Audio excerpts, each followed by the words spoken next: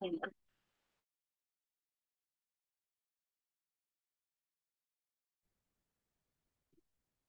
للہ وسلاۃ وسلام علی رسول اللہ اما بعد. جی. سند کی اہمیت کے بارے میں امام ابن سیرین رحمہ اللہ کا کوئی قول یعنی دو اقوال ہم نے پڑھے تھے ایک تو لمبا ہے ایک مختصر ہے۔ تو آپ میں سے کسی کو اگر وہ عربی میں یاد ہو تو سنا دیں۔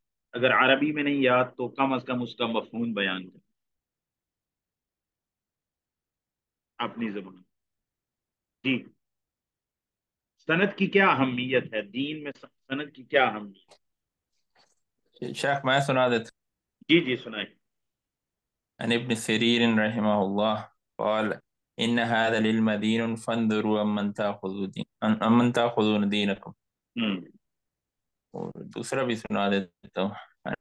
ابن سرین رحمه الله. قال لم يكونوا يسألون عن الأسناد عن الإسناد. فلما وقعت الفتنة قالوا سموا لنا رجالكم. فينظر إلى أهل السنة فيؤخذ حديثهم. وينظر إلى أهل البدع فلا يؤخذ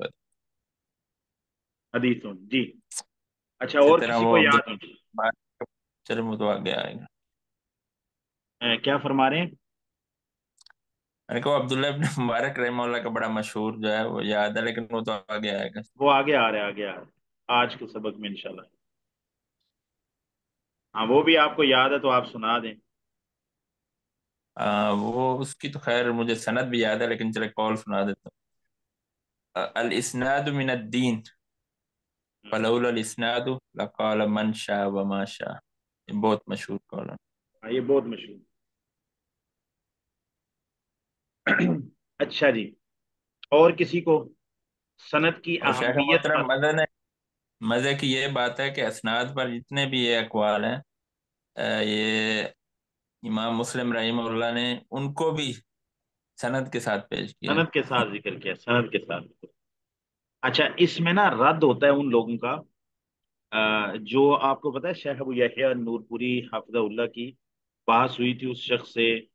تو بھائی سند کی کیا ضرورت ہے؟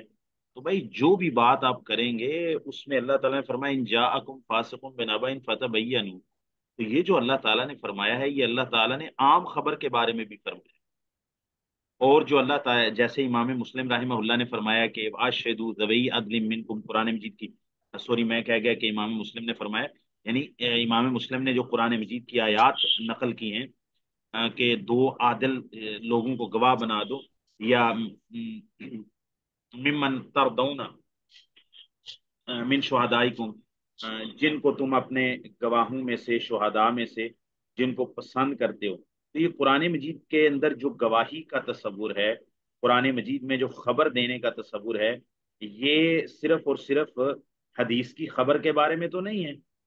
حدیث کی خبر میں تو اس کی اہمیت بڑھ جاتی ہے، کیونکہ وہ دین ہے، اس کی اہمیت بڑھ جاتی ہے۔ تو باقی کیا جو ویسے اس کے علاوہ جو خبریں ہوں گی، اور خبریں بھی بڑی ایسی خطرناک قسم کی جو واضح حادیث سیاح کے خلاف جا رہی ہوں، جو سلف کے بارے میں بدگمانی پیدا کر رہی ہوں، تو وہ مطلب آپ ایسے ہی بیان کر دیں گے بھائی کہ سند کی ضرورت تو جو ہے نا یہ اس میں ہوتی ہے، اللہ آپ کا بھلا کرے۔ ہاں یہ ہے نا جی۔ تو اب دیکھیں حدیث میں یعنی قرآن مجید میں جو آیت ہے ان جا اکم فاسقم بنبا ان فتح تو یہ کیا صرف حدیث کے بارے میں ہے؟ آپ کہتے ہیں بھائی سینہ عثمان رضی کے بارے میں، آپ تاریخ سے کوئی بھی بات بیان کریں گے سینہ معاویہ پہ سینہ علی رضی کے بارے میں۔ آپ تاریخ سے کوئی بھی روایت بیان کریں گے، آپ تو تاریخ ہے نا جی۔ آپ کو پتا ہے، یہ یہ اعتراض مودودی صاحب نے اٹھایا ہوا ہے، آپ میں سے کسی بھائی کو پتا ہے یہ اس بات کا؟ اچھا، مطلب مودودی صاحب کو آپ کتنا بڑا اسکالر لوگ سمجھتے ہیں؟ مودودی صاحب اتنی بڑی شخصیت تھے، اتنے بڑے شاہ ویسل کنگ فیصل ایوارڈ ملا۔ اس میں میں نے ایک دوست سے کہا، میں نے کہا ماشاء اللہ ویسے ملوک ساری زندگی بری ہے، کنگ فیصل اوارڈ لینے ہوئے ملوک تو ٹھیک ہے۔ میں مزہ نہیں آ گیا بندے کے موقف کا یار۔ سبحان اللہ وہ نا روافظ کا رد کرتے ہوئے نا، استاذ الاستاذ علامہ احسان علیہ ظہیر رحمہ اللہ نے فرمایا تھا کہ آپ کہتے ہو کہ سیدنا علی رضی اللہ تعالیٰ عنہ کی خلافت چھینی گئی تو ابو بکر عمر نے نعوذ باللہ چھینی تو انہوں نے کہا کہ پھر عہدہ قضاء اور دوسرے عہدے اور مشاورت یہ قبول کیوں کیا؟ انہوں نے کہا جی بس اس طرح خلافت چھینی گئی لیکن وہ خاموش رہے۔ انہوں نے کہا ہم علامہ صاحب کہتے ہیں ہم ضیاء الحق کو نہیں مانتے، ٹھیک ہے؟ تو انہوں نے کہا کہ بھائی، ضیاء الحق کو ہم نہیں مانتے، اس کی ہم وزارت کو کہاں مانیں گے؟ ہم جیسے کمزور لوگ، ضیاء الحق کے مخالف ہیں، تو ضیاء الحق ہمیں کو وزارت دیں، ہم اس کو اپنے بوٹ کی نوک پہ رکھتے ہیں۔ تو آپ علی رضی اللہ کے بارے میں کیا کہتے ہیں کہ وہ ایک طرف تو ان کی خلافت غصب ہوئی تھی، اور دوسری طرف انہوں نے عہدے بھی قبول کیے اور مشاورت بھی۔ اچھا ہم بھی مودودی صاحب سے یہی کہتے ہیں کہ ایک طرف ملوکیت بڑی بری چیز ہے، ساری زندگی ملوکیت ملوکیت ملوکیت، ساری زندگی اسی کا آپ نے مطلب کہہ لیں کہ سیاسیات آپ کی کم از کم۔ چلو، تفسیر میں جو لکھا ہے عقائد میں آپ جیسے کیسے تھے، وہ آپ کا معاملہ ہے، وہ ہم عقائد میں ڈسکس کریں گے۔ لیکن آپ کے سیاسی نظریہ میں آپ ایک، آپ آپ نے ایک موقف رکھا کہ خلافت ہوتی ہے، ایک ملوکیت ہوتی ہے۔ خلافت عین اسلام ہے اور ملوکیت عین کیسر و کسرا اور کفر کا اور اس طرح تابوت کا نعوذ باللہ نظام ہے۔ یعنی مطلق طور پر آپ نے اس کو ایسے کہہ دیا۔ تو پھر آپ نے سیدنا عثمان رضی اللہ عنہ سے شروع کیا۔ تو کہ ان کے دور سے یہ خرابی شروع ہو گئی اور یہ وہ سوال آنا شروع ہو گیا۔ انہوں نے کچھ ایسے امور کیے جس کی وجہ سے مطلب خلافت سے آستہ آستہ وہ ابو بکر عمر کے رستے سے ہٹتے چلے گئے۔ جو جو وہ مطلب کہہ لیں کہ اتہامات لگا سکتے تھے، انہوں نے اپنا پورا زور لگایا۔ اچھا جب علماء نے ان پر رد کیا نا، ان کی کتاب 53 میں، مجھے نہیں پتا 53 56 میں پہلی دفعہ چھپی تھی۔ جب علماء نے اعتراض کیا تو مودی صاحب نے پتا کیا جواب دیا؟ اب جو خلافت ملوکیت کا اب ایڈیشن چھپا ہے نا، اس کے حاشیے میں لکھا ہوا ہے، میرے پاس پی ڈی ایف موجود ہے، میں وہ نکال کے آپ کو نا کوشش کروں گا سب کو پرسنل میں بھیج مودی صاحب نے کہا ہے، یہ واقعی فلاں، جب ہم یہ باتیں کرتے ہیں نا، تو کچھ لوگ جو ہے نا، اسماء اور رجال کی اور کتابیں نکال کے بیٹھ جاتے ہیں کہ یہ راوی سکھا ہے جی یہ ضعیف ہے جی فلاں ہے۔ آگے مدودی صاحب جواب لکھتے ہیں تو ایک طالب علم کو ہنسی آتی ہے۔ مطلب میں کہتا ہوں لوگ پتہ نہیں کیوں کامیڈی کرتے رہتے ہیں۔ مدودی صاحب کی کتابوں میں آپ پڑھ لیں، آپ کو کامیڈی سب سے بہترین تو یہاں مل جائے گی۔ اتنے بڑے اسکالر ہیں تو کامیڈین بھی بہت بڑے تھے۔ ٹھیک ہے۔ تو ہنسانے کا ان کو والا کس کو کہتے ہیں، اس کو طریقہ ان کو آتا تھا۔ مطلب حصے مزہ بہت تھی مدودی صاحب۔ تو ان سے کہا کہ بعض لوگ جو ہے نا یہ رجال کی اور اسماء اور رجال کی کتابیں نکال کے بیٹھ جاتے ہیں جرا تعدیل کی۔ تو ان کو یہ نہیں پتا کہ یہ صحیح، ضعیف یہ چیزیں حدیث میں چلتی ہیں۔ تاریخ میں یہ معیار نہیں چلتا۔ اگر تاریخ میں بھی یہی معیار چلایا جائے، تو مدودی صاحب کے الفاظ ہیں، میں زبانی چونکہ نقل کر رہا ہوں تو اس میں آگے پیچھے ہو سکتا ہے، لیکن مفہوم میں الحمدللہ میں کوئی خیانت نہیں کر رہا۔ تو انہوں نے کہا اگر یہ قواعد و ضوابط حدیث والے یعنی سے تو زو فراوی کے حالات و واقعات، اس کا کردار، کریکٹر چیک کیا جائے، تو یہ چیزیں اگر تاریخ میں بھی لاگو کی جائیں تو مسلمانوں کی نبے فیصد تاریخ کو دریا برد کرنا پڑے گا۔ ایک انہوں نے یہ ادھر لنگ پیش کیا، تو میں سمجھتا ہوں اس پر آپ کو ہنسنا چاہیے تھا مطلب تو مطلب کافی کامیڈی ہے اس میں۔ دوسری بات یہ ہے کہ دوسرا انہوں نے یہ عذر پیش کیا، انہوں نے کہا میں نے اپنی طرف سے تو کچھ لکھا ہی نہیں ہے۔ جو تاریخی کتابوں میں البدایہ ون نہایا میں تبری میں، طبقات ابن سعد میں تو جو یہاں لکھا تھا، میں نے تو وہاں سے نقل کر دی ہے۔ ٹھیک ہے، مسعودی نے جو لکھا تھا یا اس طرح کے لوگوں نے، تو میں نے تو وہاں سے نقل کر دی، بس بات ختم۔ تو آپ نے پوچھنا ہے تو ان کو جا کے پوچھے مجھے کیا پوچھتے ہیں؟ تو بہرحال بات میں یہ کر رہا تھا کہ اسناد دین ہے، تو منور بھائی نے بڑا اچھا نقطہ اٹھایا کہ دیکھیں امام مسلم رحمہ اللہ کی عظمت اور ان کی دقت نظری کہ اسناد دین ہے۔ اس بات کو ثابت کرنے کے لیے بھی امام مسلم رحمہ اللہ یہ قول جو کہ عبداللہ بن مبارک کا ہے یا ابن سیرین کا ہے، ان کو بھی بغیر سند کے نقل نہیں کیا۔ یعنی یہ قول بھی امام ابن سیرین سے تب ثابت ہوگا جب امام مسلم سے لے کے ابن سیرین تک سند ثابت ہوگی۔ حالانکہ نہ وہ نبی ہیں، نہ وہ صحابی ہیں زیادہ سے زیادہ یعنی وہ تابعی ہیں۔ تو عبداللہ بن مبارک تو تابعی بھی نہیں ہے تبا تابعی ہے تو کہنے کا مقصد یہ ہے کہ محدثین کے ہاں اور اہل سنہ کے ہاں اور اہل العلم کے ہاں جو دین کے اصل میں امین ہیں، دین اسلام کے امین ہیں، ان کے ہاں سند کی اہمیت ایک تاریخی یعنی یہ ایک تاریخی بات ہے نا کہ عبداللہ بن مبارک نے ایسا فرمایا۔ یہ بنیادی طور پر ان کی بات تو دین کا ماخذ نہیں ہے نا۔ یہ تو دین کی تفہیم کے لیے یا سلف کے منہج اور سلف کی فکر کے اعتبار سے بات مانی جا سکتی ہے۔ اصل دین کا ماخذ تو قرآن و سنت ہے۔ تو اس بات کو جو بذات خود دین نہیں ہے، وہ ایک تاریخی بات ہے جو اس کو بھی سند کے ساتھ پیش کیا تو یہ بڑی خوبصورت بات یعنی منور بھائی نے فرمائی ہے۔ نہیں عبداللہ بن مبارک تابعی نہیں ہے۔ فیما ادن واللہ اعلم۔ تابعین میں تو ان کا شمار نہیں ہے۔ ابن سیرین رحمہ اللہ تابعی۔ ابن سیرین تابعی ہیں۔ ابن سیرین تابعی۔ ہیں۔ عبداللہ بن مبارک تابعی نہیں ہاں جی، تبا تابعی جی اچھا۔ تو بہرحال یہ آیات جو ہے نا ایک تو سورہ الحجرات کی اس کے بعد ممن تردون من الشہداء یہ آیت میں زبانی اس میں غلطی کر گیا تھا۔ ممن تردون من الشہداء۔ اب یہ شہادت کیا صرف حدیث کے بارے میں ہے؟ یہ عام معاملے کے اندر بھی ہے۔ میاں بیوی میاں بیوی کا آپس میں جھگڑا ہو جائے، کیا وہاں شہادت چاہیے ہوگی کہ نہیں؟ اور کیا سینا عثمان رضی اللہ تعالیٰ کے بارے میں بات ہے؟ وہاں کوئی شہادت نہیں چاہیے۔ وہاں مرضی مرضی یعنی اسم مفول کا سیگا کیا وہاں پسندیدہ، نیکوکار، اچھے کردار کے ایک مرد کا، زید کا، بکر کا خالد کا اپنی بیوی جو ہے نا، وہ کسی سے بھی، سلمہ سے زارا سے لڑائی ہو جائے تو قاضی کہے گا شاہد اور شاہدین، شہداء وہ ہونے چاہیے جو کہ پسندیدہ ہوں، جو اچھے کردار اور کریکٹر کے ہوں۔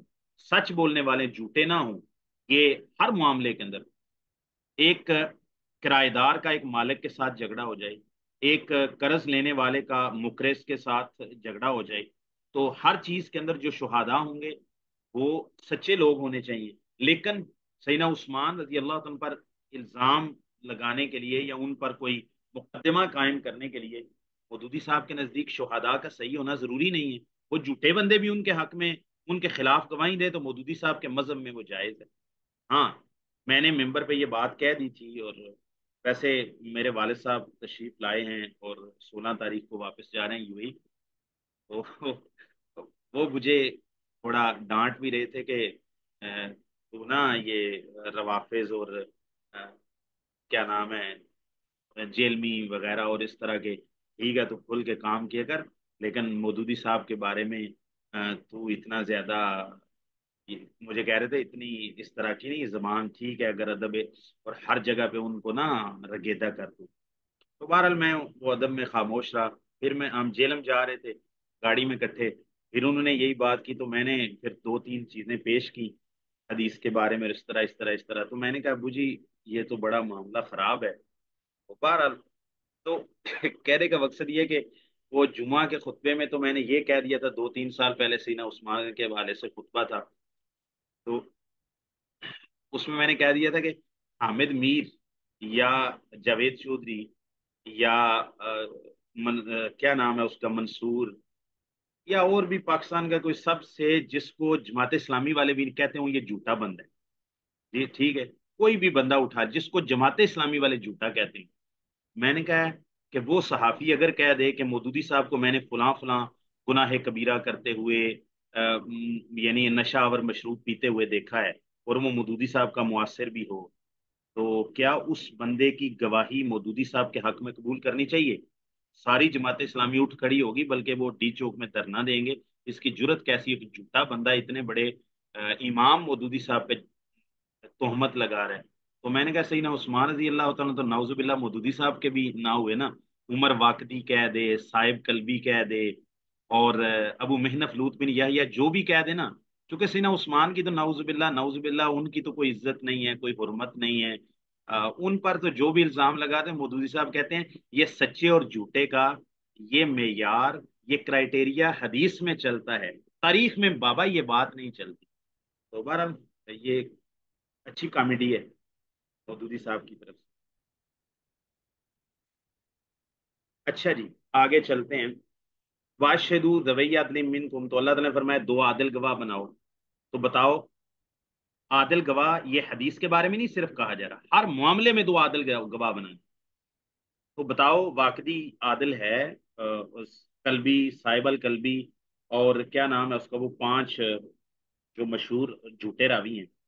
واقدی ہو گیا، محمد عمر واقدی ہو گیا، اس کے بعد محمد بن عمر واقدی اور اس کے بعد ابو محنف لوت بن یحییٰ، اور صاحب کلبی باپ بیٹا دونوں تو کہنے کا مقصد یہ ہے کہ یہ شام اور صاحب الکلبی یہ جو چار بندے ہیں اور پانچواں میرے ذہن میں نہیں آ رہا، یہ پانچوں کے پانچوں ان ساری روایات کے راوی ہیں۔ تو محدثین ان کو قذاب کہا ہے متروب کہا ہے اور رافضی کسی کو کہا ہے، کسی کو کچھ کہا ہے۔ تو اللہ تعالیٰ تو فرماتے ہیں، عدل والے گواہ بناؤ۔ مودودی صاحب کہتے ہیں، سینا عثمان کے خلاف عادل گواہ نہیں چاہیے، جھوٹا گواہ بھی چلے گا۔ کیوں؟ یہ مودودی صاحب سے پوچھیں گے ہم۔ یعنی اچھا چلیں جی آگے چلتے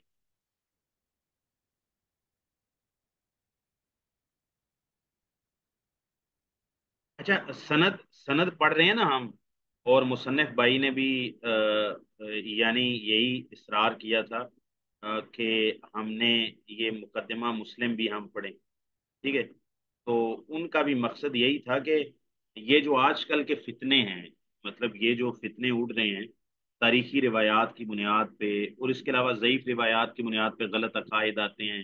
تصوف، آپ صوفیوں کی آپ روایتیں سنیں تو آپ مطلب دھنگ رہ جائیں گے کہ مطلب رافضیوں کو ہم روتے تھے کہ رافضی بڑا بڑا جھوٹ بولتے ہیں۔ آپ صوفیوں کی کتابیں پڑھیں، آپ کو پتہ چلے بھائی بلکہ کچھ تو آپ جانتے ہی ہیں، اس دن میں نے ذکر بھی کیا تھا۔ تو یہ ساری چیزیں، یہ سارا بگاڑ کب پیدا ہوتا ہے؟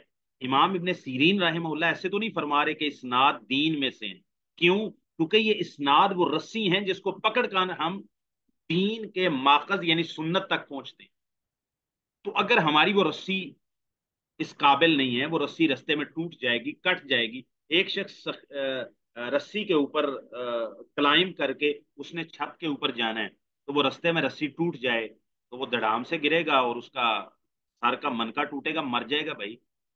تو اس بندے کا دین سلامت نہیں رہ سکتا جس کے پاس دین تک پہنچنے کے لیے مضبوط حبل، الحبل القوی اس کے پاس موجود نہیں ہے۔ اور وہ کیا ہے؟ وہ وسیلہ کیا ہے؟ وہ واسطہ کیا ہے؟ وہ سبب کیا ہے؟ جس کے ذریعے اس نے دین کے وہ اسناد۔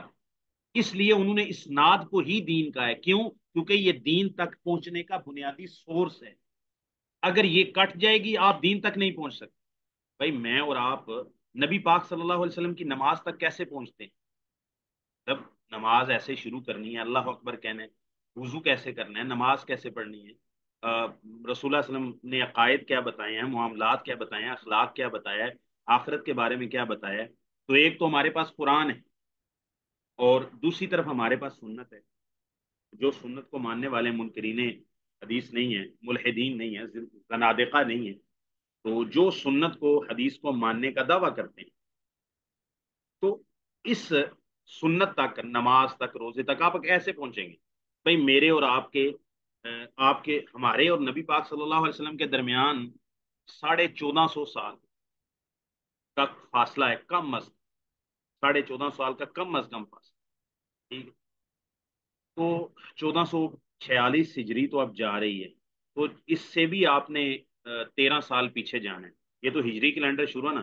تیرہ سال بے ست رسول اللہ وسلم کے اس میں تیرہ سال آپ نے مزید شامل کرنے ہیں۔ تو یہ مطلب نزول قرآن کا کل تیئیس سالہ، بائیس سالہ، اکیس سالہ دور ہے۔ تو ہم اس دور تک کیسے پہنچ سکتے؟ ہم سند تک پہنچتے ہمیں امام بخاری کہتے ہیں کہ میرے استاد عبداللہ بن یوسف نے بیان کیا وہ کہتے ہیں امام مالک نے بیان کیا، وہ کہتے ہیں نافع سے سنا، وہ کہتے ہیں میں نے عبداللہ بن عمر سے سنا، وہ کہتے ہیں میں نے رسول اللہ سے سنا۔ یہ وہ سبب ہے، یہ وہ لڑی ہے، یہ وہ سلسلہ ہے، یہ وہ چین ہے، یہ وہ رسی ہے، یہ وہ ہمارے لیے الحبل المتین ہے۔ السبب ہے، السبب المعدی الى رسول اللہ صلی اللہ علیہ وسلم۔ یہ وہ سبب ہے جو ہمیں رسول اللہ تک پہنچا دے۔ وہ ہمارے شہود ہیں، ہمارے گواہ ہیں، بلکہ وہ کل ایک جگہ پر خطبہ تھا دفاع صحابہ کے والے سے، تو میں نے اس میں الکفایا سوری، امام خطیب بغدادی کی کتاب ہے الکفایا فی علم الربایا، تو اس میں انہوں نے کول نقل کیا ہے اذا رعیت الرجل، اذا رعیت الرجل ينتقص احدا من اصحاب رسول اللہ صلی اللہ علیہ وسلم فعلم انه زندیق۔ جب تو کسی ایک شخص کو دیکھے، ابو ذرا راضی رحمہ اللہ کا قول ہے۔ الکفایہ فی علم روایہ میں خطیب بغدادی رحمہ اللہ نقل کیا ہے کہ امام امام ابو ذرا راضی رحمہ اللہ فرماتے ہیں، جب تو کسی شخص کو دیکھے کہ وہ صحابہ میں سے کسی کی تنقید کر رہا ہے۔ فعلم انه زندیق تو جان لے وہ بندہ زندیق ہے، وہ مسلمان نہیں زندیق آدمی ہے، بے دین آدمی، ملحد ہے۔ دین کو بگاڑنے والا آدمی، دین کے خلاف سازش کرنے زندیق کے بڑے معنی آتے ہیں۔ جو دین اسلام میں تخریب کاری کا کام کرتا ہے، اس کو زندیق ہے کیوں؟ وہ کہتے ہیں، لأن الرسول ذالک لأن الرسول حق والقرآن حق۔ وانما ادى الينا هذا القرآن والسنن۔ اصحاب رسول اللہ صلی اللہ علیہ وسلم کہتے ہیں، کیوں؟ وہ زندگی کیوں ہے جو نبی پاک کے کسی صحابی پہ تنقید کرتا ہے؟ اس لیے کہ رسول بھی سچے ہیں، قرآن بھی سچا ہے، اور ہمارے تک اس رسول، ہمارے تک اس قرآن کو اور رسول اللہ صلی اللہ علیہ وسلم کی سنتوں کو پہنچانے والے صحابہ ہیں۔ ہم تک صحابہ کرام نے یہ پہنچایا ہم تک پہنچانے کے انہوں نے اپنے شاگردوں کو بتایا، انہوں نے اپنے شاگردوں کو بتایا۔ اگر صحابہ نبی پاک صلی اللہ علیہ وسلم سے یہ بات آگے بیان نہ کرتے تو واسطہ بیچ میں سے کٹ جاتا۔ تو نبی پاک صلی اللہ علیہ وسلم کا دین ہم تک صحیح طریقے سے نہ پہنچ سکتا۔ صحابہ نے اس امانت کو صحیح طریقے سے ادا کیا تو ہم تک پہنچا۔ تو آگے وہ بڑی خوبصورت بات کہتے ہیں۔ کہتے ہیں ان نما یوری دون لے یج راہو شہودانہ تل الکتاب وسن کہتے ہیں یہ زندیق لوگ زنادکا جو صحابہ پر جرا کرتے ہیں، تنقید کرتے ہیں۔ انہوں نے اس بات کا ارادہ کیا ہے یجراہو یجراہو شہودانہ یہ چاہتے ہیں کہ یہ ہمارے گواہوں پر اتان کر دیں۔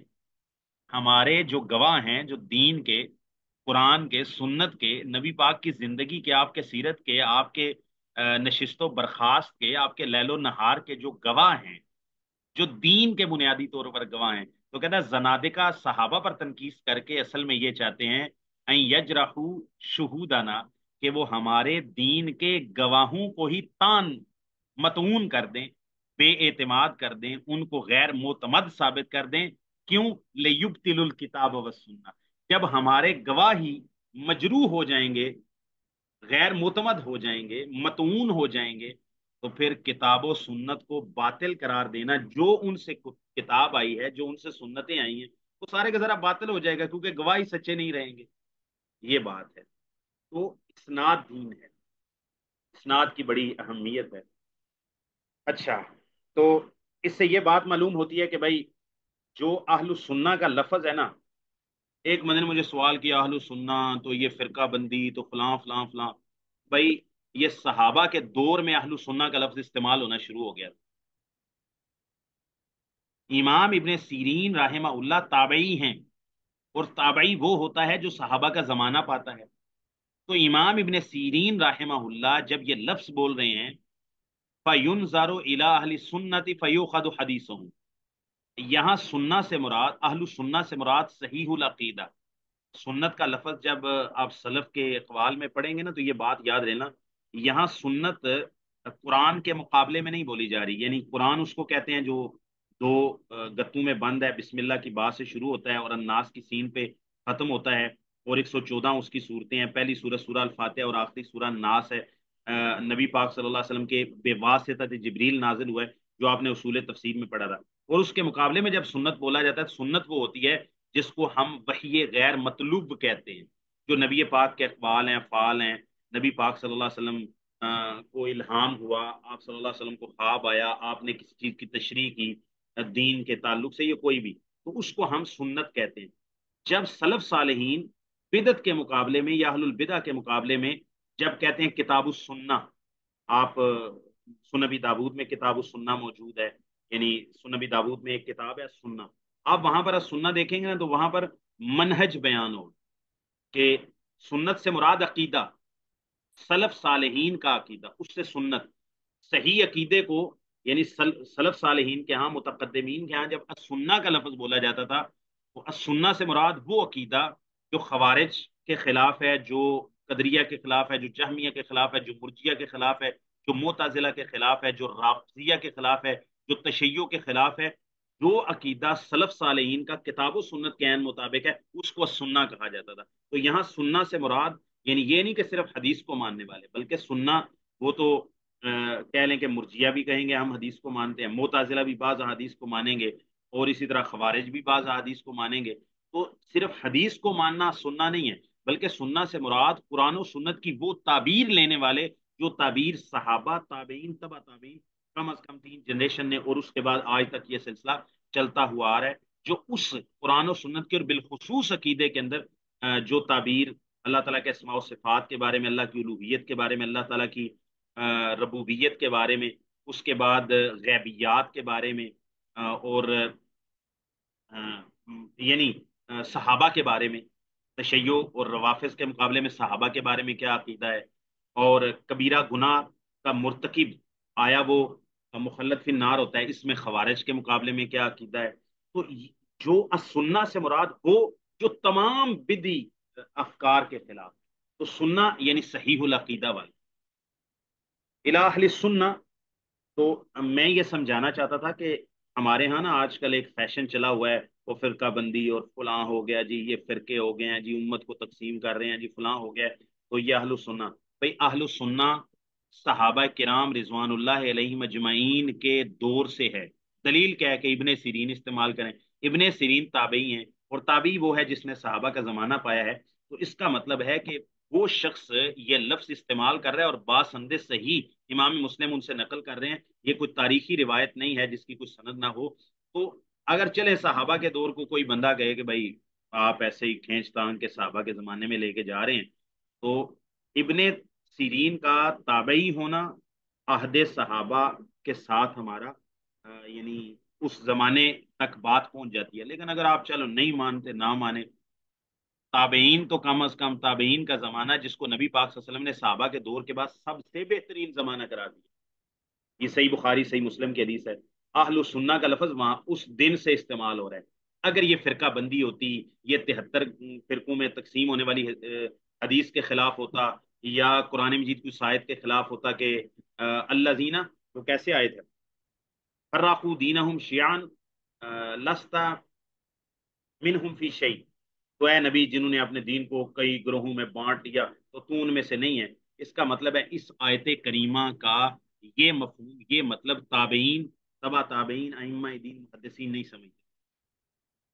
محدثین نے اہل البدع سے اور اہل الاحوا سے امتیاز کرنے کے لیے کہ سلف صالحین والا اور صحیح قرآن و سنت والا عقیدہ کس کے پاس ہے، اپنا نام اہل السنہ رکھا، کبھی اہل الحدیث رکھا، کبھی اہل الاثر رکھا، کئی مطلب سلفی بھی رکھا، ٹھیک ہے؟ تو یہ اس وقت سے ہمارا نام ہے، الحمدللہ، اور ہمیں اس پر کوئی شرمندگی نہیں ہے، اس پر فخر ہے۔ وہ نام جو سلف صالحین کے زمانے میں صحیح العقیدہ لوگوں کے بارے میں وہ عقیدہ چاہے توحید کے باب میں ہو چاہے غیبیات کے باب میں ہو چاہے آخرت کے بارے میں ہو چاہے اقلیات کے باب میں ہو چاہے علم الکلام کے بارے میں ہو چاہے القرآن کے بارے میں کہ وہ اللہ کی صفت ہے اللہ کی صفات کے بارے میں یعنی جو جو بھی گمراہیاں چاہے چھوٹی چاہے بڑی چاہے اس کا تعلق عقیدے سے تھا آخرت کے ساتھ صحابہ سا جتنی بھی گمراہیاں در آئیں امت مسلمہ میں ان سب گمراہیوں کے مقابلے میں ہم اہل سننا ہیں جی۔ ہے۔ اہل سننا تو اہل بدت سے دیکھیں تابعین بھی اہل البدع سے کتنے بیزار تھے۔ ان سے روایتیں شاطن لیں۔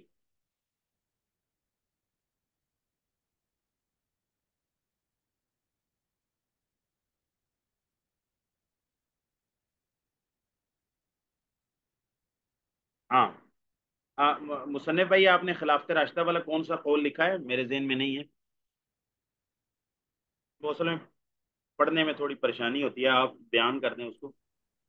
شیخ محترم میں عرض کر رہا تھا کہ سیدنا علی کا جو قول ہے نا لوکان دین برائے لکان اسفر الخف ہاں۔ اگر دین کی بنیاد جو رائے پر ہوتی تو مسا جو آیا وہ پاؤں کے نیچے تلوے سے ہوتا اوپر سے نہ ہوتا۔ تو سمجھ آتا کہ خلافت راشتہ میں بھی مطلب شروع سے ہی خلافت راشتہ سے ہی اہل الرائے اور اہل السنہ میں تفریق ہو چکی تھی۔ الحمدللہ۔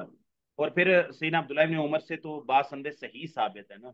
وہ قدریہ والا، یمن سے یا کس علاقے سے ایک شخص آیا تو اس نے کہا کہ بھئی ہمارے علاقے کے اندر ایسے لوگ ہیں جو کہتے ہیں تقدیر کوئی چیز نہیں ہے، بل امر فن ابھی ابھی جو کچھ ہو رہا ہے، لکھا جا رہا ہے، پہلے سے لکھا ہوا نہیں ہے۔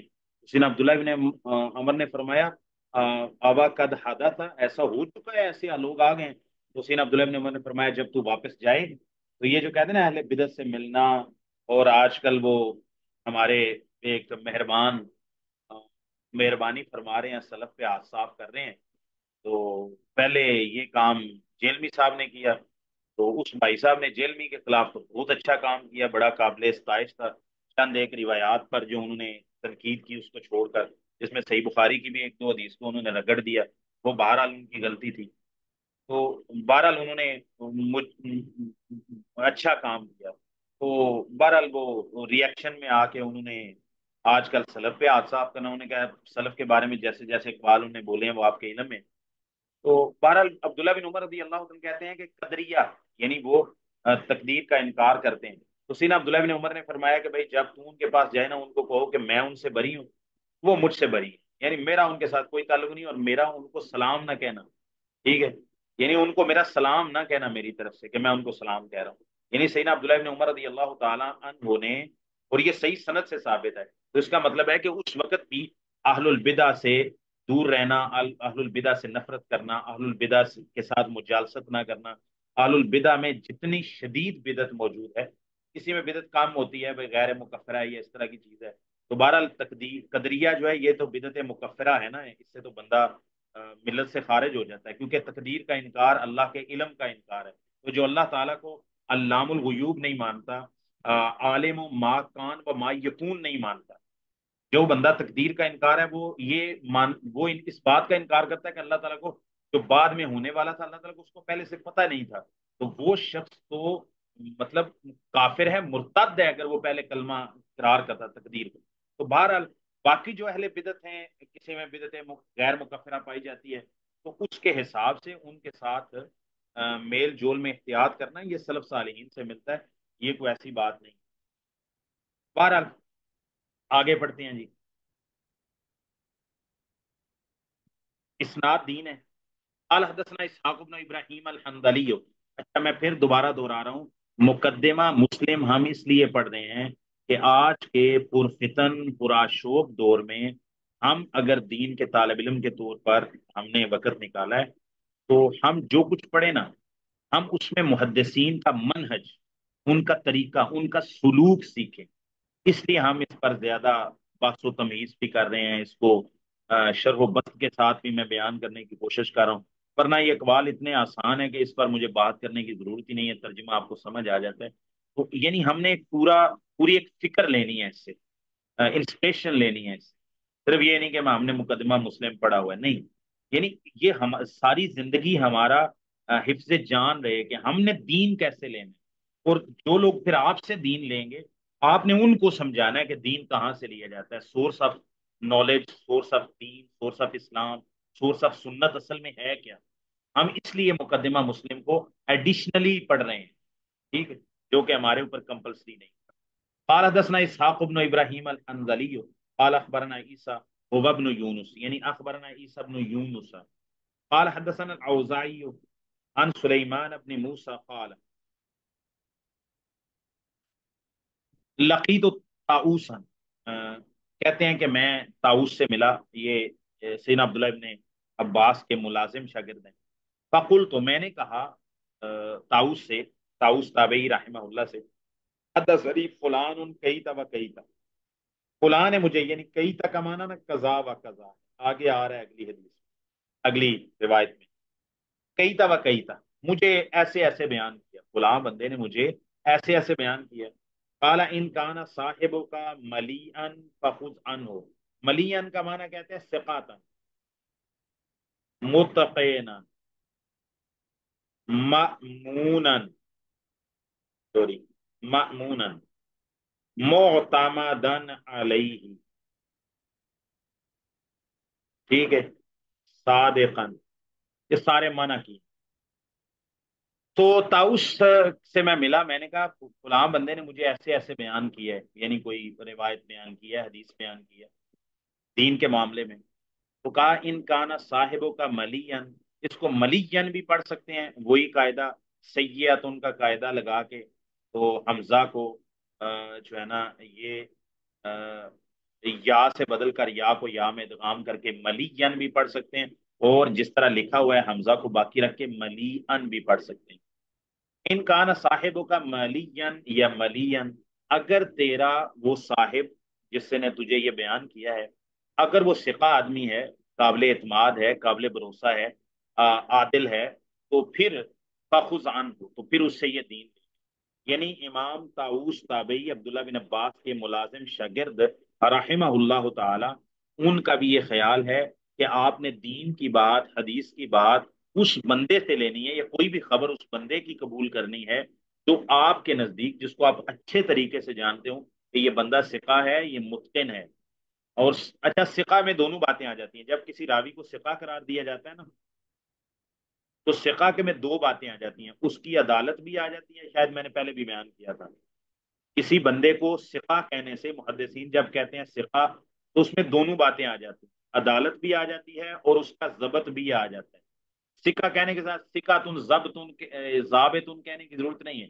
سکا کا مطلب یہ ہے کہ یہ شخص واتا کا یاسے کو سکا تن یعنی اعتماد ہے۔ اب اس کے ضبط پر بھی اعتماد ہے، اس کی عدالت پر بھی اعتماد تو سکا مستر ہے ویسے۔ ٹھیک ہے؟ مستر بمانا اسم موصول ہے اسم مفول ہے۔ سکاتن بمانا موثوق یعنی با اعتماد آدمی۔ تو اگر وہ با اعتماد ہے سفا ہے، متقن ہے، تو پھر اس سے تو لے لے علم۔ وقال امام مسلم فرماتے ہیں قال حدثنا عبداللہ ابن عبد الرحمن دارمی اچھا امام امام دارمی استاد ہے امام مسلم کے، یہ امام بخاری کے بھی استاد ہیں. قال اخبرنا مروان یان ابن محمد دمشقی اچھا دمشق لفظ پڑھتے ہیں، دال کے کسرہ کے ساتھ فسی اس طرح، دمشق. قال حدثنا سعید بن عبد العزیز عن سلیمان ابن موسیٰ، قال قلت للتاؤس میں نے تاؤس تابعی رحمہ اللہ سے کہا، ان فلانا حدثنی بقضا وقضا فلاں بندے نے مجھے ایسے ایسے بیان کیا یعنی حدیث۔ قال، ان کان صاحب کا ملین فخذان ہو دوسری سند بیان کرتے ہیں، اگر تیرا وہ صاحب تجھے بیان کرنے والا متقن با اعتماد آدمی ہے یعنی سقا ہے، ملین کا معنی کر لے سقا ہے، تو اس سے تو لے لے علم۔ قال، حدثنا اچھا یہ اس سے پہلے نا قالا کہنا ضروری ہوتا ہے۔ اگر میں کہوں نا حدثنا، تو مطلب ہوگا کہ عبد المنان کہہ رہا ہے حدثنا۔ تو بھائی نصر بن علی الجہزمی نے عبد المنان کو بیان نہیں کیا۔ تو یہ طلبہ غلطی کرتے ہیں سند پڑھنے میں جلدی میں۔ حدثنا۔ تو اس کے پیچھے قالا کہنا ضروری ہے اور ہر بھی آپ حدثنا آئے گا، اخبرنا آئے گا، سمیت کا آئے گا۔ قالا لکھا ہو یا نہ لکھا ہو، آپ نے قالا ضرور پڑھنا ہے۔ اور اگر تسنیہ کا سیگا ہو تو آپ قالا پڑھیں گے۔ اگر جمع کا سیگا ہو تو قالو پڑھیں گے۔ میں کہتا ہوں حدثنا نصر ابن تو اس کا مطلب ہوگا کہ میں عبد المنان کہہ رہا ہوں کہ مجھے بیان کیا، ٹھیک ہے؟ تو آپ نے قالا پیچھے کہنا ہے، ٹھیک ہے؟ اگر اس کا مطلب ہے قال الامام مسلم ابن الحجاج القشیری النیسابوری، حدثنا یعنی امام مسلم کہتے ہیں۔ جب میں قالا کہتا ہوں تو مطلب اس نے کہا یعنی امام مسلم۔ قال حدثنا نصر بن علی الجہزمی، قال حدثنا، اب یہاں قال لکھا نہیں آئے گا، لیکن ہم نے بولنا ہے، کیوں؟ کیونکہ ہم روایت کر رہے ہیں۔ تو قال حدثنا الاسمعی عن ابی السناد عن ابیہ قال، ادرکت بالمدینہ مئتا کلہم مأمون۔ یہ بھی بڑا اچھا قاعدہ ہے۔ ابو الزناد سے مروی ہے یعنی ان کے باپ ابو الزناد ہے نا۔ ابو زناد ان کے والد ہیں۔ ہاں۔ ابو زناد کے بیٹے ابو زناد کے بیٹے بیان کرتے ہیں کہ میں نے اپنے والد ابو زناد سے سنا۔ ابو زناد کہتے ہیں، ادرکت بالمدینہ میعتن میں نے سو ایسے بندے مدینہ میں دیکھے ہیں، ان سے ملا ہوں، ان کا میں نے زمانہ پایا ہے۔ کلہم مأمون، سارے کے سارے امین تھے، با اعتماد تھے۔ ما یوخذ عنہم الحدیث۔ لیکن ان سے حدیث نہیں لی جاتی تھی۔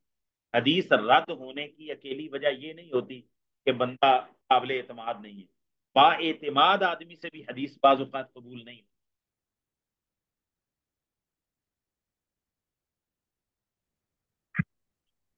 ادرک تو بالمدینہ۔ محترم، اس پہ ایک یہ بھی بات سمجھ آتی ہے کہ احادیث اگر دیکھیں بھی، جنہوں نے احادیث ہم تک پہنچائی، اصحاب رسول کہ ان سے کہا گیا کہ آپ اپنی زندگی میں جانشین بنا دیں کہ جیسے سینا ابو بکر نے بنایا تھا تو انہوں نے کہا کہ میں کس کو جانشین بناؤں؟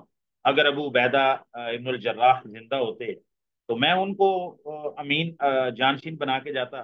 اللہ تعالیٰ کے پاس پہنچتا تو وہ پوچھتے کہ بھائی کس کو بنا کے آئے ہو؟ تو میں کہتا کہ تیرے نبی صلی اللہ علیہ وسلم سے سنا تھا کہ امین و حاضی الما ابو عبیدت ابن الجراح تو میں ان کو بنا کے آیا۔ کہتا ہے وہ فوت ہو گئے ہیں۔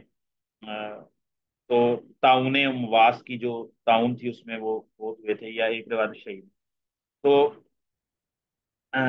پھر انہوں نے کہا، خالد زندہ ہوتے ہیں نا، خالد۔ تو میں ان کو بناتا، تو اللہ تعالیٰ مجھ سے پوچھتے کس کو بنایا؟ تو کہا کہ آپ کے نبی نے فرمایا تھا سعید من سیوف اللہ۔ اب میں بات یہ کرنے لگا ہوں، بھائی سید سیدنا خالد بن ولی رضی اللہ تعالیٰ سے کتنی روایات ہیں؟ ایک روایت میرے علم میں آتی ہے وہ جو زب کھانے کی شاید وہ روایت ہے کہ خالد بن ولی رضی اللہ نے وہ زب تو کہا نبی شیخ محترم وہ بھی انہوں نے روایت نہیں کی۔ میرے خیال میں روایت وہ انس ابن مالک کی ہے جہاں تک مجھے یاد ہے۔ روایت وہ پھر بھی ان کی نہیں ہے۔ کہنے لگا تھا۔ یعنی یہی میں کہنے لگا تھا کہ اس میں بھی مجھے صحیح یاد نہیں ہے کہ وہ خود راوی ہیں یا نہیں ہے بس یہ ہے کہ کسی اور نے کہا کہ خالد بن ولید لے کے آئے۔ تو ہو سکتا ہے یعنی جتنا ہم نے بلوغ المرام کو پڑھا سینا خالد بن ولید رضی اللہ کی کوئی روایت آتی نہیں، صحیح بخاری وغیرہ پڑھے ہو سکتا ہے ان کی کوئی دو، چار روایات ہوں۔ اور یہ مستد احمد کو دیکھ کے نا، انشاءاللہ میں کل اس کو چیک بھی کروں گا۔ کیونکہ اب یہ ایک نا اسائنمنٹ ہمارے سامنے آ گئی تو ہم نے انشاءاللہ چیک کرنا ہے۔ اسی طرح مطلب آپ نے بدری صحابہ کا نام لیا۔ اور وہ بدری صحابہ نے جو نبی پاک صلی اللہ علیہ وسلم کی زندگی میں فوت ہو گئے یا شہید ہو گئے کسی اور غزبے میں، ہم ان کی مثال لیں، دیتے ہیں جو نبی پاک صلی اللہ علیہ وسلم کے بعد دس دس سال، بیس بیس سال، تیس تیس سال باقاعدہ حیات تھے اور وہ بدری بھی تھے، بیت رضوان والے بھی تھے۔ بھائی ایک لاکھ چالیس ہزار سے کہوں بھائی صحابہ کرام تو بتایا جاتا ہے کہ وہ صرف حجت الوداع میں صرف شریک ہوئے تھے۔ اس کا مطلب ہے سارے صحابہ نے، سارے جتنے مسلمان اس وقت موجود تھے، سب نے تو حج نہیں کیا تھا۔ یعنی صحابہ اور غیر صحابہ بھی۔ تو بہت سارے صحابہ کی تعداد ہے۔ لیکن راویان حدیث آپ کو مطلب مسند احمد کو ہی اٹھا لیں تو میں کہتا ہوں شاید چند ہزار بھی تعداد نہیں بنتی صحابہ میں سے جو راویان حدیث ہیں۔ اور اس میں وہ بھی ہم شامل کرتے ہیں، من لہو حدیث واحد، من لہو حدیثان، من لہو سلاست و حدیث۔ ٹھیک ہے؟ سلاس و حدیث۔ جس کے لیے تین حدیث ہیں، دو ہیں، ایک روایت بھی بیان کی ہے۔ تو جو صحابہ کلہم عدول ہیں، کلہم من اہل الجنہ ہیں اور کلہم مرضیون ہیں، کلہم رضی اللہ عنہ و رضو عنہ ہیں، تو ان سب سے بھی روایت نہیں آئی، تو روایت نہ آنے کا مطلب یہ نہیں ہوتا کہ وہ شخص معمون نہیں ہے، معتمد نہیں ہے، عادل نہیں ہے سفا نہیں ہے، بلکہ یہ ہے کہ حدیث اس کی فیلڈ نہیں ہے جیسے کہ آپ نے بیان کیا۔ تو خالد میں ولی رضی اللہ تعالیٰ آپ سینا ابو حرارہ رضی اللہ تعالیٰ سے پوچھے کہ انہوں نے کتنے قلعے فتح کیے تھے؟ کوئی تنقید کرنا چاہے بھائی دیکھیں یہ کتنے قلعے فتح کیے بھائی قلعہ فتح کرنا یا جنگ جوہی یا سپاہ گری یہ ان کا کام نہیں تھا۔ یہ ان آ, ان کا کام نہیں تھا۔ یہ نہیں کہ وہ جہاد غزوات میں گئے نہیں تھے جہاد میں بھی گئے ہیں غزوات میں بھی گئے ہیں جنگیں بھی لڑی ہیں۔ بھی پاک صلی اللہ علیہ وسلم کے ساتھ بھی غزوات کی ہیں۔ لیکن سپاہ سالاری بھائی ان کا فن حدیث علم تفسیر فتویٰ یہ ان کا فن تھا۔ اور اسی کے ساتھ وہ وابستہ رہے۔ جی۔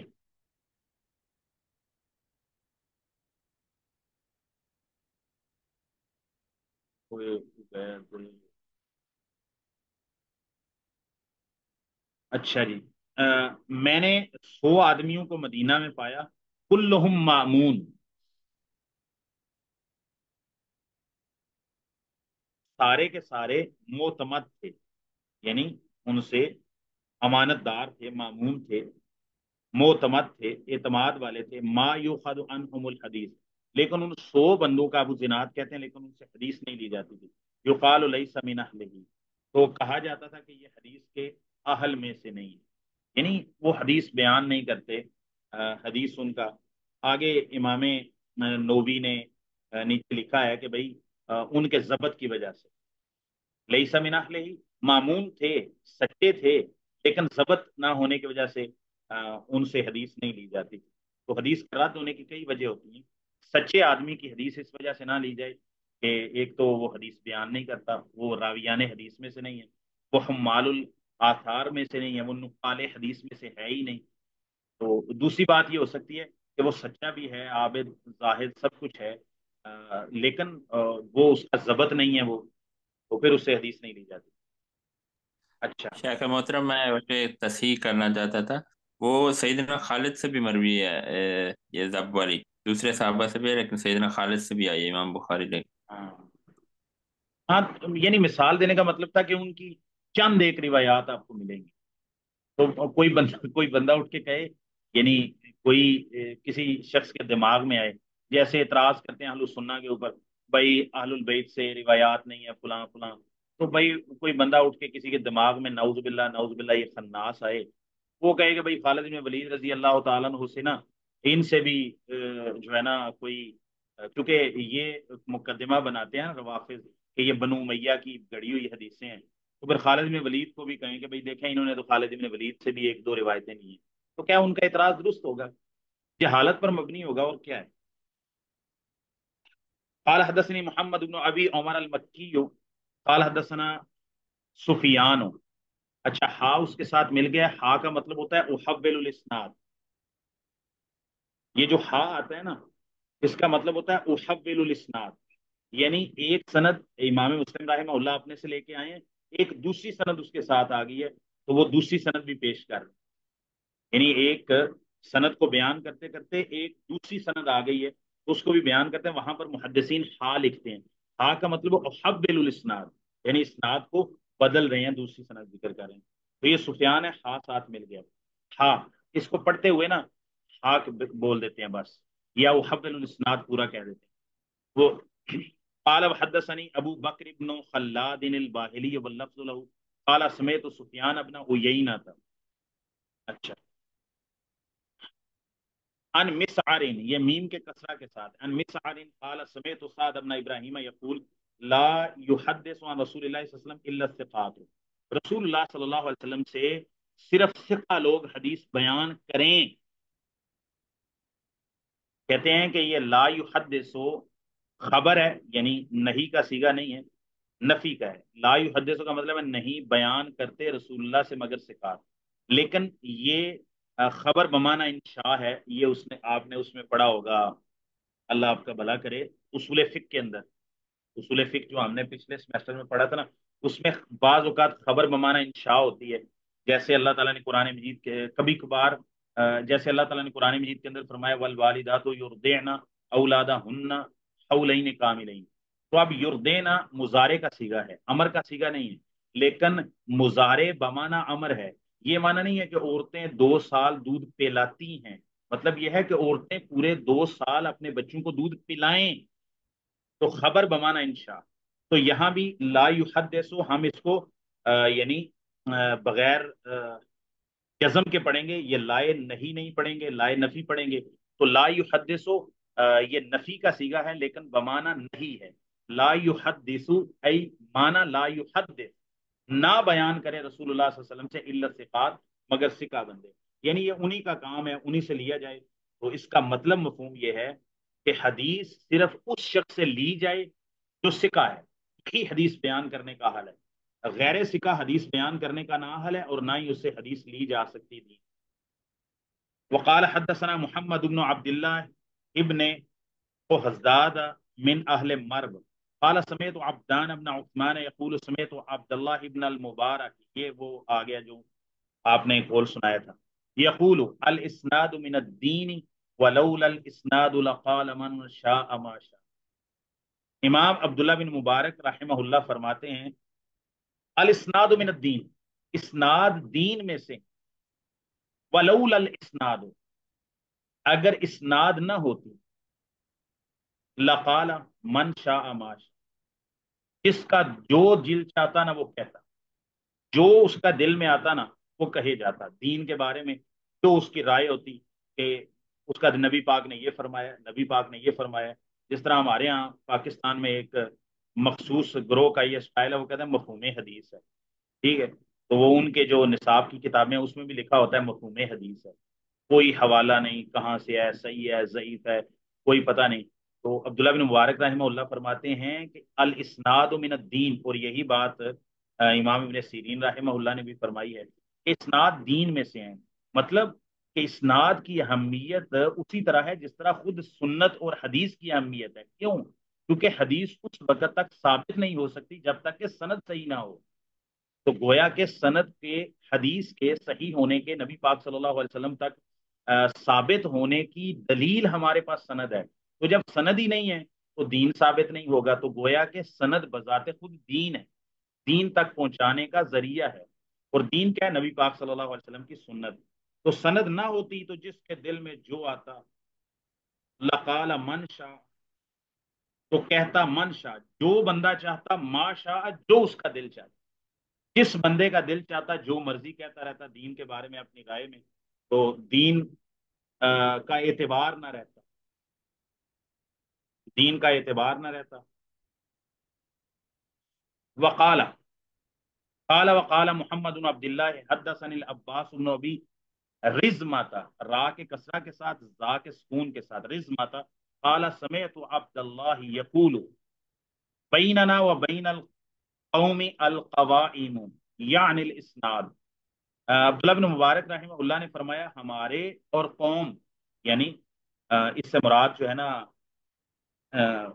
تمام مسلمان ہیں، یا پھر القوم سے مراد اہل البدع ہے القوم کا لفظ نا محدثین، مخالفین کے بارے میں بولتے ہیں۔ ان کے اور ہمارے درمیان فرق کرنے والی چیز کیا؟ القوائم. قوائم کا مطلب ہے پائے۔ جن کے اوپر کوئی چیز کھڑی ہوتی ہے، یہ مطلب جو جانور کے، حیوان کے جو کہہ لیں پاؤں ہوتے ہیں، ان کو قوائم کہتے ہیں، کیونکہ وہ انہی کے سہارے کھڑا ہوتا ہے۔ تو یان الاسناد، القوائم سے مراد اسناد ہے۔ تو ہمارے اور قوم یعنی اہل البدع کے درمیان فرق کرنے والی چیز اسناد ہے۔ ان کے پاس سندے نہیں ہیں، ہمارے پاس سندے ہیں۔ ہم دین سند سے بیان کرتے ہیں۔ اگلا قول پڑھ لیں۔ یہ بڑا خوبصورت قول ہے جی۔ وقال محمد سمیت ابا اسحاق ابراہیم ابن عیسی الطالقانی قال قلت لعبد الله ابن المبارک یا ابا عبد الرحمن، میں نے عبداللہ بن مبارک رحمہ اللہ سے کہا، ان کی کنیت ابو عبد الرحمن تھی۔ الحدیث الذي جاء، وہ حدیث جو آئی ہے ہمارے پاس ان من البر بعد البر ان تصلی علی ابوی مع صلاتی کہ نیکی کے بعد نیکی یہ ہے کہ تو اپنے والدین کے لیے اپنی نماز کے ساتھ ایک اور نماز پڑھ۔ یعنی ظہر کی ایک نماز چار رکعت پڑھی تو چار مزید پڑھ کس کے لیے؟ والدین کے لیے۔ تو یہ جو حدیث ہے وہ تسوم الحما مع اور اپنے روزے کے ساتھ ان کا بھی روزہ رکھ۔ یعنی تو نے اپنے روزہ، کوئی نفلی روزہ رکھا تو ان کے لیے بھی روزہ رکھ۔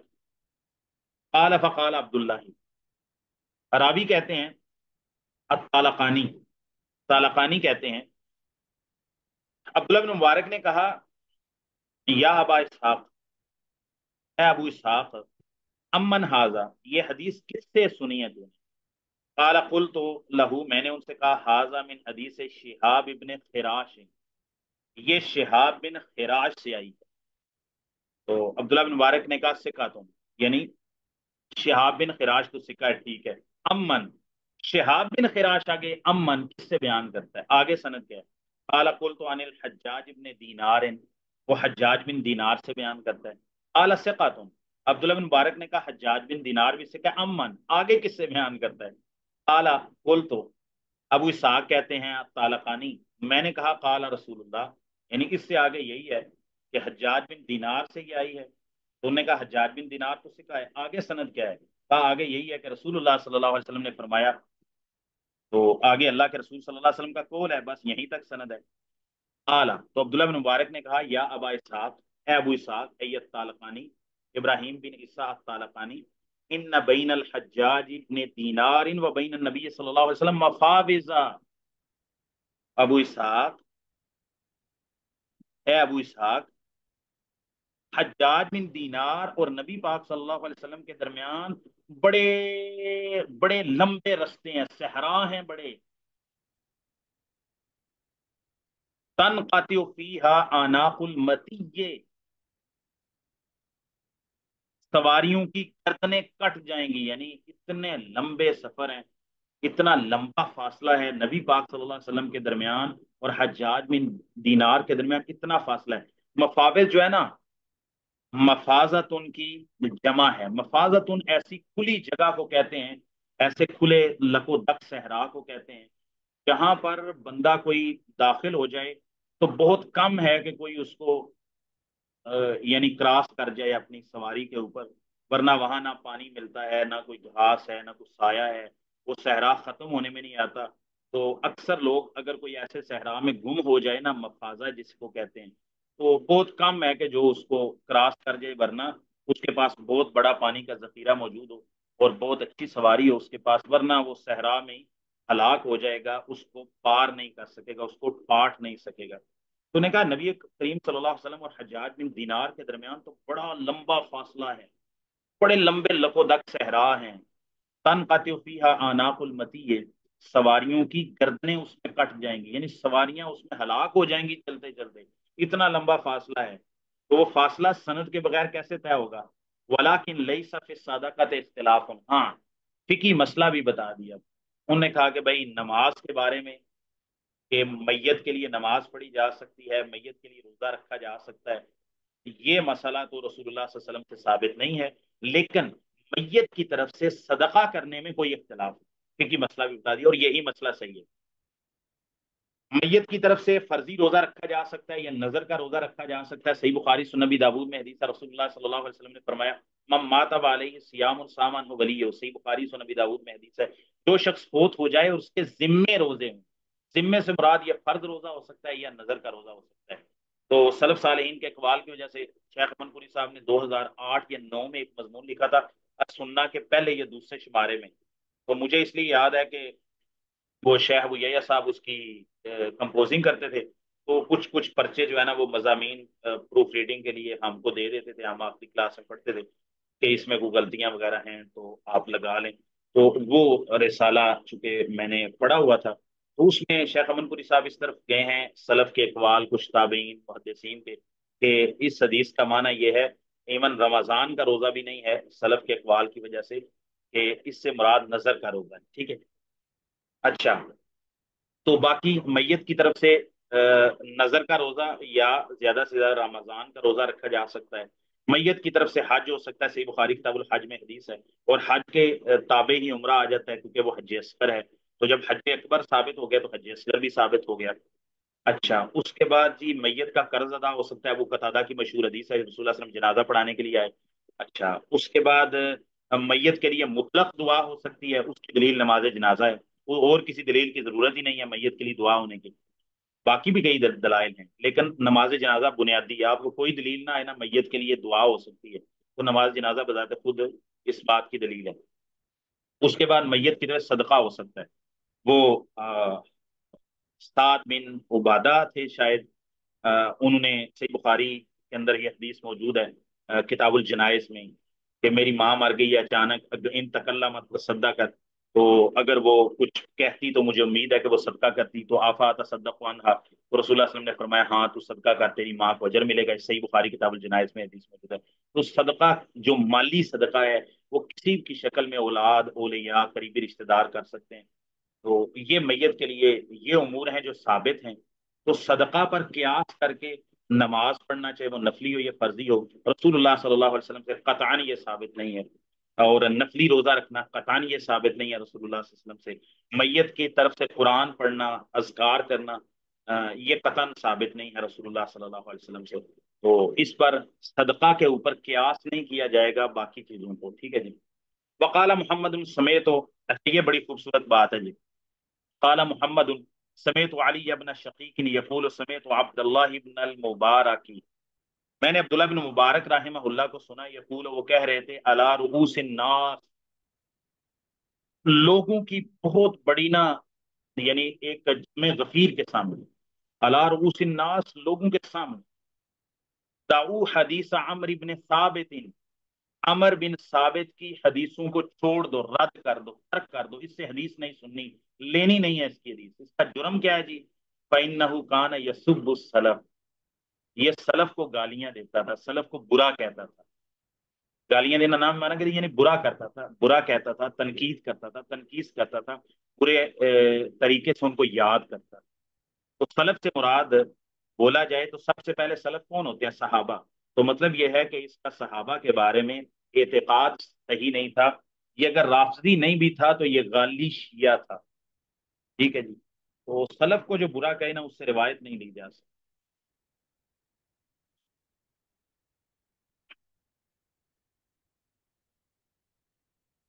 اچھا جی۔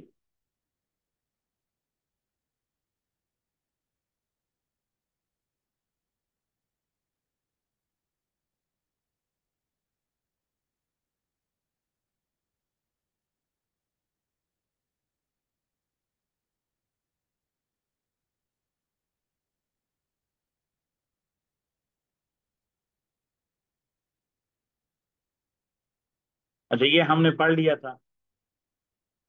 اور اس میں ہم نے وہ حدیث پڑھی تھی کہ اللہ پر جو توکل کرتا ہے نا، اور توکل کا کمال ہوتا ہے۔ یہاں تک کہ بعض ایسی چیزیں یعنی شرعی دم کرنا، رقیہ، خود کو دم کرنا تو اس میں تو کوئی استعمال ہی نہیں۔ کسی دوسرے سے دم طلب کرنا۔ کہ کوئی شخص ہے، آپ اس سے دم کرواتے ہیں اور اس کو کہتے ہیں کہ میرا سر درد کر رہا ہے یا مجھ پہ کوئی آثار ہیں یا کوئی آسیب وغیرہ ہے کوئی جادو ہے، جنات ہیں، اس طرح کی چیز ہے تو یعنی ظاہری باطنی کوئی بھی مرض ہے، تو آپ اس سے کسی اور سے دم کرواتے ہیں اور وہ شرعی دم کرتا ہے، قرآن و سنت کے کلمات پڑھ کر تو یہ دم کروانا جائز ہے۔ ہاں اگر وہ دم کسی سے نہیں کرواتا بلکہ خود کرواتا ہے، تو یہ توکل کا کمال ہے۔ اس وجہ سے اس کو ان ستر ہزار لوگوں میں شمار کیا جائے گا کہ جو بغیر حساب کے جنت میں داخل ہوں گے۔ جی۔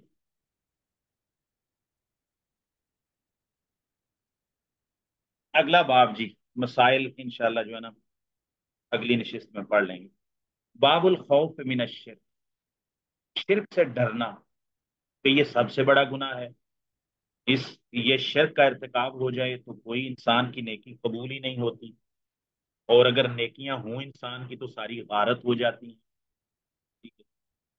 لو اشرکتا لیحبطن عمل تو شرک جو ہے وہ ان اللہ لا یغفر یشرک به و یغفر ما دون ذلک لمن یشاء یہ پہلی آیت ہی پیش کی ہے۔ تو شرک سے ڈرنا خاص طور پہ شرک اکبر سے۔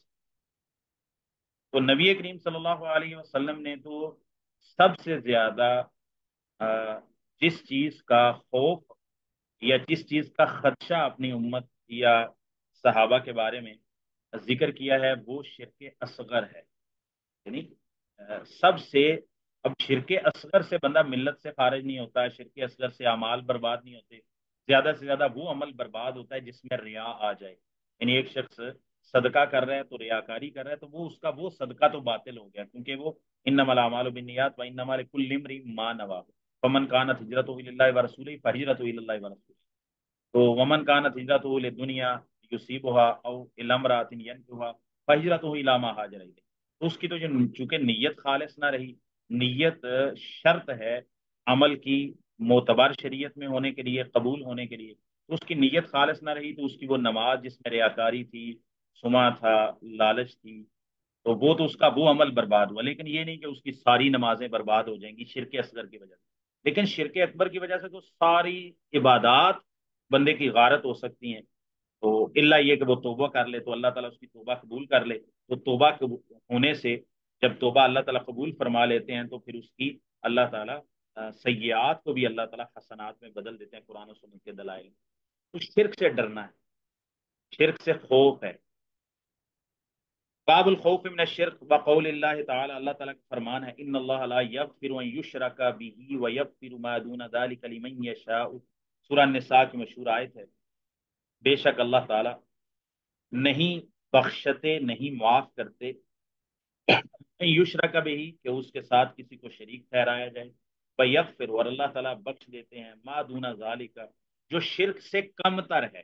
دونا کا معنی علاوہ بھی ہے اور دونا سوا بھی اس کا معنی ہے اور جو اس سے کم تر ہے وہ بھی معنی یعنی شرک سے کم تر کوئی گناہ ہے تو اللہ تعالیٰ جس کے لیے چاہیں گے، جتنا چاہیں گے معاف کر۔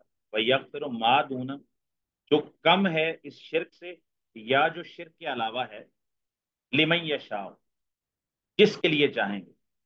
اور یہی خوارج کے خلاف اہل سنہ والجماع کی الحمدللہ دلیل ہے کہ خوارج یہ کہتے ہیں کہ اہل القبائر جو کبیرہ گناہ کا ارتکاب کر لے، کسی سے بدکاری ہو جائے، کوئی شراب پی لے کوئی جھوٹ بول دے، کوئی جھوٹی گواہی دے دے، تو یہ جو خوارج ہیں، وہ کہتے ہیں کہ بھائی وہ مخلد النار ہوگا۔ یعنی دنیا کے اندر تو ہم اس کو بین بین کا کول ہے ان کا۔ کچھ تو کہتے ہیں کہ وہ کافر ہے دنیا میں۔ کچھ کہتے ہیں کہ دنیا کے اندر نہ وہ مسلم ہے، نہ وہ کافر ہے۔ لیکن آخرت میں ان کا یہ اتفاق ہے کہ مخلد فی النار ہوگا، جو کبیرہ گناہ کا مرتکب۔ لیکن اہل سنہ والجماع کا کیا ہے کہ بھائی، جس شخص نے کوئی ایسا عمل کیا جو ملت سے خارج نہیں کرتا، لیکن وہ کبیرہ گناہ تھا، تو امام تحاوی نے العقیدت التحاویہ کے اندر سلف کا، اہل سنہ کا یہ عقیدہ لکھا ہے کہ وہ یرون ان ان اہل القبائر من امت محمد صلی اللہ علیہ وسلم لا لا یخلدون فی النار، کہ جو کبیرہ گناہ کے مرتکب مسلمان ہیں، مومن ہیں، سیل عقیدہ ہیں، تو کبیرہ گناہ کے ارتکاب میں توبہ کیے بغیر فوت ہو گئے تو وہ جہنم کے اندر مخلد فی النار نہیں گے یعنی ہمیشہ نہیں رہیں گے۔ اور اس کی دلیل یہ قرآن مجید کی آیت بھی ہے کہ اللہ تعالیٰ فرماتے ہیں، اللہ تعالیٰ شرک کے سوا جس کے لیے جو چاہے وہ معاف کر دیتا ہے۔ لیکن اس میں ڈرنے کی بات یہ ہے، شرک کے علاوہ بھی کہ بھئی یہ اللہ تعالیٰ کا اختیار ہے۔ شرک تو اللہ نے معافی نہیں کرنا، اگر کوئی شرک اکبر میں مر گیا تو یہ اللہ نے قانون بنا دیا ہے، یہ اللہ تعالیٰ نے یہ بات فرما دی ہے اور اللہ سے سچا کون ہو سکتا ہے بات کرنے میں؟ یہ اللہ تعالیٰ کا قانون ہے کہ اللہ تعالیٰ نے شرک اکبر کو معاف کرنا ہی نہیں ہے اگر کوئی بندہ توبہ کے بغیر مر گیا۔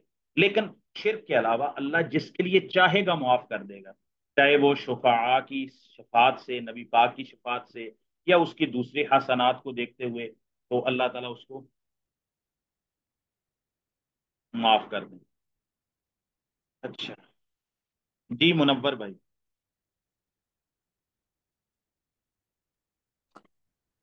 شیخ محترم یہ جو فنائے نار کا عقیدہ تو نہیں ایک نظریہ کہہ رہے ہیں جو نظریہ ایک پایا جاتا ہے۔ اس کے بارے میں آپ کیا فرمائیں دوبارہ سوال کیجیے گا۔ جو فنائے نار فنائے جہنم کا عقیدہ تو نہیں خیر نظریہ کہہ لیں۔ باطل عقیدہ ہے اور اگر کسی نے ایسا کہا ہے کہ جس کے جس پہ خیر غالب ہے اور وانتا تعلم من اشیرو الیہ من ینصب الیہ قول انہو قال النار تفنا یوم ایک نہ ایک دن اس کو فنا کر دیا جائے گا۔ تو اگر ایسے کسی شخص نے کہا ہے جو اہل سنہ میں سے ہے اور اس پر خیر غالب ہے اور اس سے یہ غلطی ہوئی ہے، تو یہ ان کی غلطی ہوگی اور یہ بات ان کی قرآن و سنت کے دلائل کے برخلاف ہے۔ تو یہ اہل سنہ والجماع کے عقیدے میں یہ بھی بات لکھی ہے اور امام تحاوی نے بھی یہ لکھی ہے۔ کہ آل سنہ والجماع یہ مانتے ہیں کہ جو جنت ہے اور بلکہ وہ جو حدیث ہم نے پڑھی تھی کہ والجنت حق والنار حق تو جنت اور جہنم دونوں حق ہیں اور ان کے ابدیت کا ہی ہم قول کرتے ہیں اور یہی قرآن و سنت میں ایسی بات ہے۔ تو بلکہ اگر کسی گمراہ شخص نے یہ بات کہی ہے جس پر گمراہی غالب ہے وہ جاوید احمد غامدی ہیں۔ تو یہ اس کی بات جو ہے وہ سو فیصد کتاب و سنت کے خلاف ہے۔ تو جنت بھی ابدی ہے اور جہنم بھی ابدی ہے۔ جی۔ اور خالدین فیحہ آبادا اس طرح کی جو کافروں کے بارے میں قرآن مجید کے اندر دسیوں نہیں، بلکہ کہہ لیں کہ درجنوں دفعہ قرآن مجید میں اللہ تعالیٰ نے مختلف مواقع پر مختلف اسلوب کے ساتھ اس بات کو دہرایا ہے کہ جو کفار ہے منافقین ہیں، خالدین فیحہ اس میں ہمیشہ رہیں گے۔ تو آبادن کے ساتھ تاکید کی ہے۔ تو اس آبادن اور خالدین فیحہ آبادا کی تاکید کو ختم کرنے کے لیے آپ کے پاس یہ قرآن مجید کی کوئی نس ہونی چاہیے نس سری، جس میں یہ ہو کہ آبادن خالدین فیحہ آبادا سے مراد ہے آمدم بعیدہ یعنی لمبی مدت ہے، اس کے بعد یہ ختم ہو جائے گا۔ تو اس مدت کے ختم ہونے کی قرآن سے واضح نس چاہیے، احتمال نہیں۔ اور دوسرا، یا پھر سنت صحیحہ ثابتہ سے کوئی بات چاہیے کہ ایک دن جو ہے نا وہ جہنم کو یا آگ کو بھی ختم کر دیا جائے گا۔ تو آج تک ہمارے پاس نہ قرآن مجید سے کوئی ایسی سری بات ہے جو خالدین فیحہ آبادہ کے مقابلے میں اتنی سراحت کے ساتھ ہو اور نہ ہی کوئی سنت ثابتہ صحیحہ سے ہمارے پاس ایسی بات ہے۔ تو یہ قرآن و سنت کے دلائل اور صلف صالحین بھی ایسے ہی سمجھ تو یہ قول صحیح نہیں ہے۔ واللہ عالم وقال الخلیل علیہ السلام، وجنبنی وبنی ان نعبد الاسنام۔ دیکھیں، شرک سے کتنا خوف ہے کہ ابراہیم علیہ السلام جیسی ہستی کہتے ہیں، اے اللہ، مجھے اور میرے بیٹوں کو یعنی میری اولاد کو اس بات سے بچانا، دور رکھنا کہ ہم بتوں کی پوجا کریں، کہ ہم شرک کریں، بتوں کی پوجا کریں، تیرے ساتھ کسی کو شریک کریں۔ آپ دیکھیں، ابراہیم علیہ السلام جیسی ہستی، جن کی زندگی توحید کی، توحید کے لیے قربانیاں دینے سے عبارت ہے۔ مطلب توحید کے کسی موحد اور توحید کے لیے اگر کوئی استعارہ ہو سکتی ہے، کوئی ہستی، تو وہ نبی کریم صلی اللہ علیہ وسلم کے علاوہ تو وہ سیدنا ابراہیم علیہ السلام کی ہستی ہے۔ وہ بھی شرک سے اتنا زیادہ دور رہتے ہیں اور شرک سے اتنی نفرت کرتے ہیں کہ اللہ تعالیٰ سے دعا کرتے ہیں۔ جہاں مکہ کے لیے، اس شہر کے لیے، اپنی اولاد کے لیے دوسری کئی دعائیں کرتے ہیں۔ کہ پھلوں سے رزق دینا، تو ایک دعا یہ بھی کرتے ہیں بجنبنی و بنی یا انعبد الاسلام۔ اللہ، مجھے اور میرے بیٹوں کو، میری اولاد کو اس بات سے بچانا کہ ہم بتوں کی پوجا کریں۔ وفی الحدیث، اخوف ما اخاف علیکم الشرک الاصغر۔ نبی کریم صلی اللہ علیہ وسلم نے فرمایا، سب سے زیادہ خوف والی بات جس کا میں تمہارے اوپر خوف محسوس کرتا ہوں، اس کا ترجمہ میں دوسرے طریقے سے کرتا ہوں، سب سے زیادہ خوف زدہ کرنے والی بات جس کا مجھے تمہارے بارے میں خدشہ ہے۔ اشرک الاصغر، وہ شرک اصغر ہے۔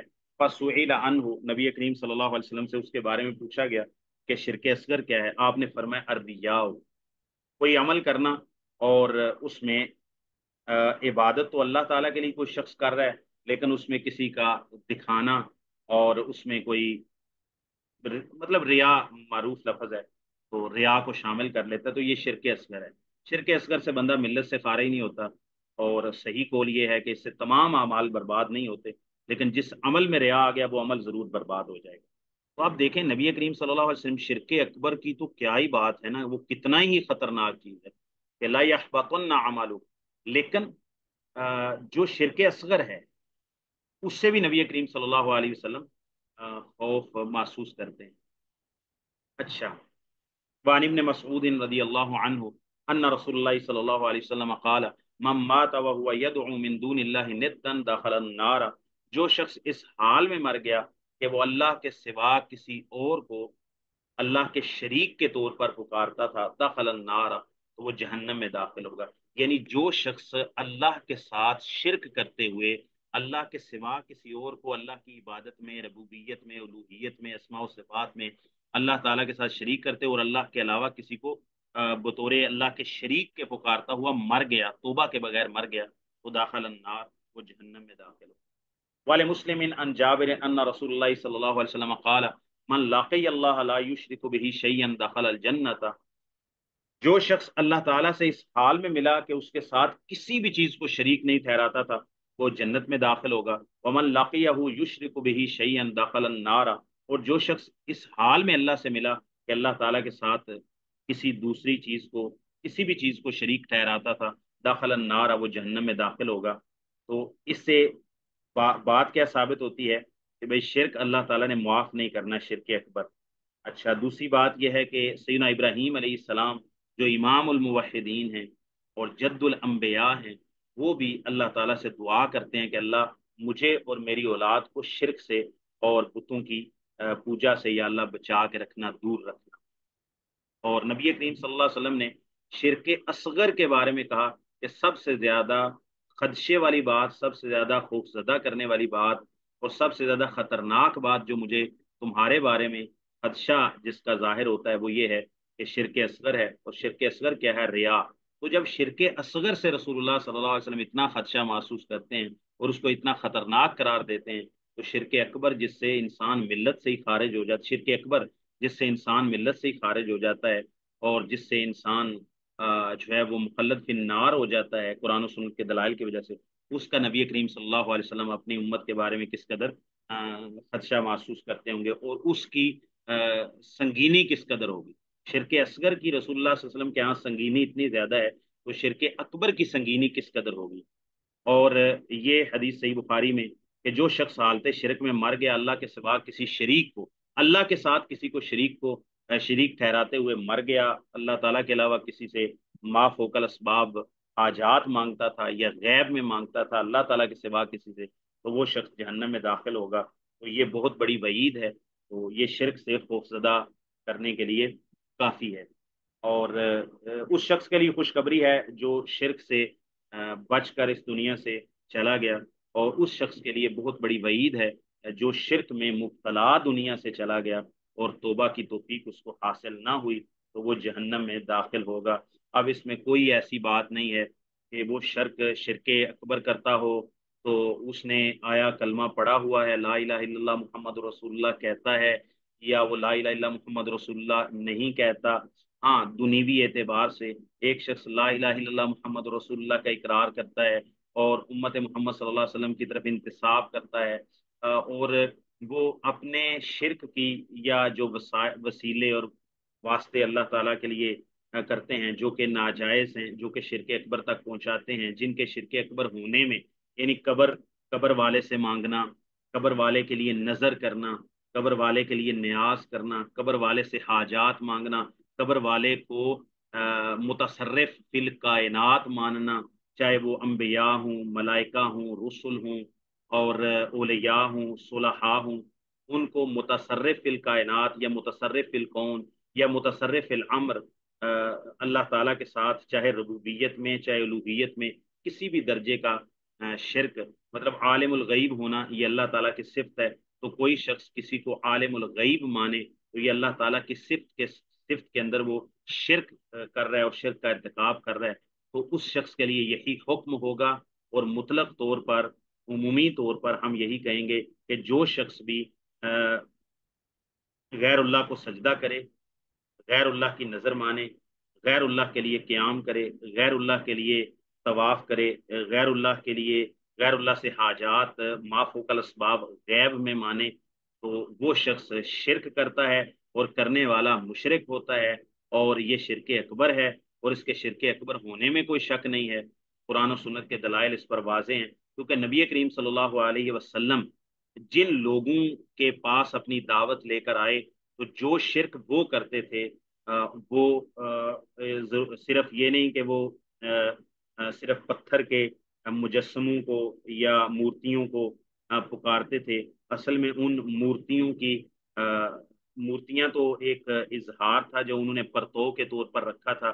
ان کے پیچھے بزرگ ہستیاں تھیں چاہے وہ حقیقت میں بزرگ تھے، جیسے کہ ابراہیم علیہ السلام اور اسماعیل علیہ السلام، جیسے کہ صحیح بخاری میں عبداللہ ابن عباس سے ہے۔ اور کہ نبی کریم صلی اللہ علیہ وسلم جب داخل ہوئے تو انہوں نے مشرقین مکہ نے جب بیت اللہ میں جو بت رکھے ہوئے تھے، جو رسول اللہ صلی اللہ علیہ وسلم نے توڑے فتح مکہ کے تو، کے اندر، تو اس میں انہوں نے اپنے تصور کے مطابق اللہ تعالیٰ ان کو ہلاک کرے۔ جن کو اسلام کی توفیق نہیں ہوئی، فتح مکہ کے بعد بھی اور انہوں نے توبہ نہیں کی اور اس میں مر گئے۔ تو جو مشرقین تھے، انہوں نے ابراہیم اور اسماعیل علیہ السلام ان کے بھی بت بنا رکھے تھے اپنے خیال میں۔ قاتلہم اللہ۔ تو ان کے ہاتھوں میں وہ پانسے کے قسمت آزمائی کے تیر پکڑائے تھے تو رسول اللہ صلی اللہ علیہ وسلم نے فرمایا، اللہ تعالیٰ ان کو ہلاک کرے۔ یہ جانتے تھے کہ ابراہیم اور اسماعیل علیہ السلام، انہوں نے کبھی اس طرح کے جوئے کے اور قسمت آزمائی کے کام نہیں کیے۔ ان کے بھی ناؤز باللہ بت بنا۔ تو اسی طرح نصارہ ہیں۔ تو ایک تو ان کا جرم یہ ہے کہ وہ اللہ تعالیٰ کی ذات میں سینا عیسیٰ علیہ السلام کو ان کا بیٹا مانتے ہیں، تو یہ ان کا شرک ہو گیا۔ اور دوسرا یہ ہے کہ اللہ تعالیٰ کی الوحیت میں بھی شرک کرتے ہیں۔ عیسیٰ علیہ السلام کو پکارتے ہیں اور ان کو نجات دہندہ، وہ ایسا نجات دہندہ مانتے ہیں کہ یعنی وہ ان کے یعنی الوحیت کا ان کے لیے دعویٰ کرتے ہیں۔ اور قرآن مجید میں اس کے دلائل موجود ہیں۔ تو چاہے وہ بزرگ ہوں چاہے وہ بزرگ نہ ہوں، تو جو مشرقین مکہ تھے، حقیقت کے اندر جو بزرگ تھے، جیسے ابراہیم علیہ السلام، اسماعیل علیہ السلام، تو ان کو، ان کے بت بنا کے پوج رہے تھے، تو وہ بھی شرک تھا۔ اچھا وہ بت بنا کے نہ پوج رہے ہوتے، انہوں نے ابراہیم و اسماعیل علیہ السلام کا کوئی بت نہ بنایا ہوتا۔ صرف ابراہیم و اسماعیل علیہ السلام کو بغیر بت بنائے ان کے پوج رہے ہوتے، تو پھر پھر بھی یہ شرک ہوتا۔ اور رسول اللہ علیہ وسلم ان کو وہی دعوت دیتے۔ اور لات منات عزا ان میں سے کوئی حقیقت میں نیک تھا یا نہیں تھا؟ لات کے بارے میں تو یہ آتا ہے، لات یا لوتو یا لتا یا لتو کا مطلب ہوتا ہے کہ ستو گول، نہ۔ تو یہ حجاج کی بڑی خدمت کرتا تھا، کوئی نیک بزرگ گزرا تھا۔ اسی طرح صحیح بخاری میں ہی عبداللہ ابن عباس کی تفسیر موجود ہے ود، سوا یوس یوک نصر۔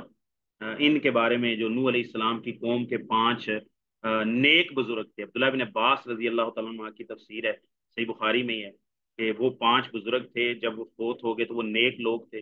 تو پھر شیطان نے آستہ آستہ پہلے ان کی نشانی لگوائی، پھر کہا کہ ان کا اکرام کرو، پھر وہ عمارت بنا دی۔ تو کرتے کرتے پھر دوسری تیسری جنریشن میں شیطان نے شرک شروع کروا دیا۔ تو بھائی وہ بھی تو نیک لوگوں کو پکار رہے تھے نا۔ وہ تو کسی بتوں کی پوجا نہیں کر رہے تھے۔ وہ نیک لوگوں سے حاجات مانگتے تھے، ان کو وسیلہ بناتے تھے، جس وسیلے کی اللہ نے اجازت نہیں دی۔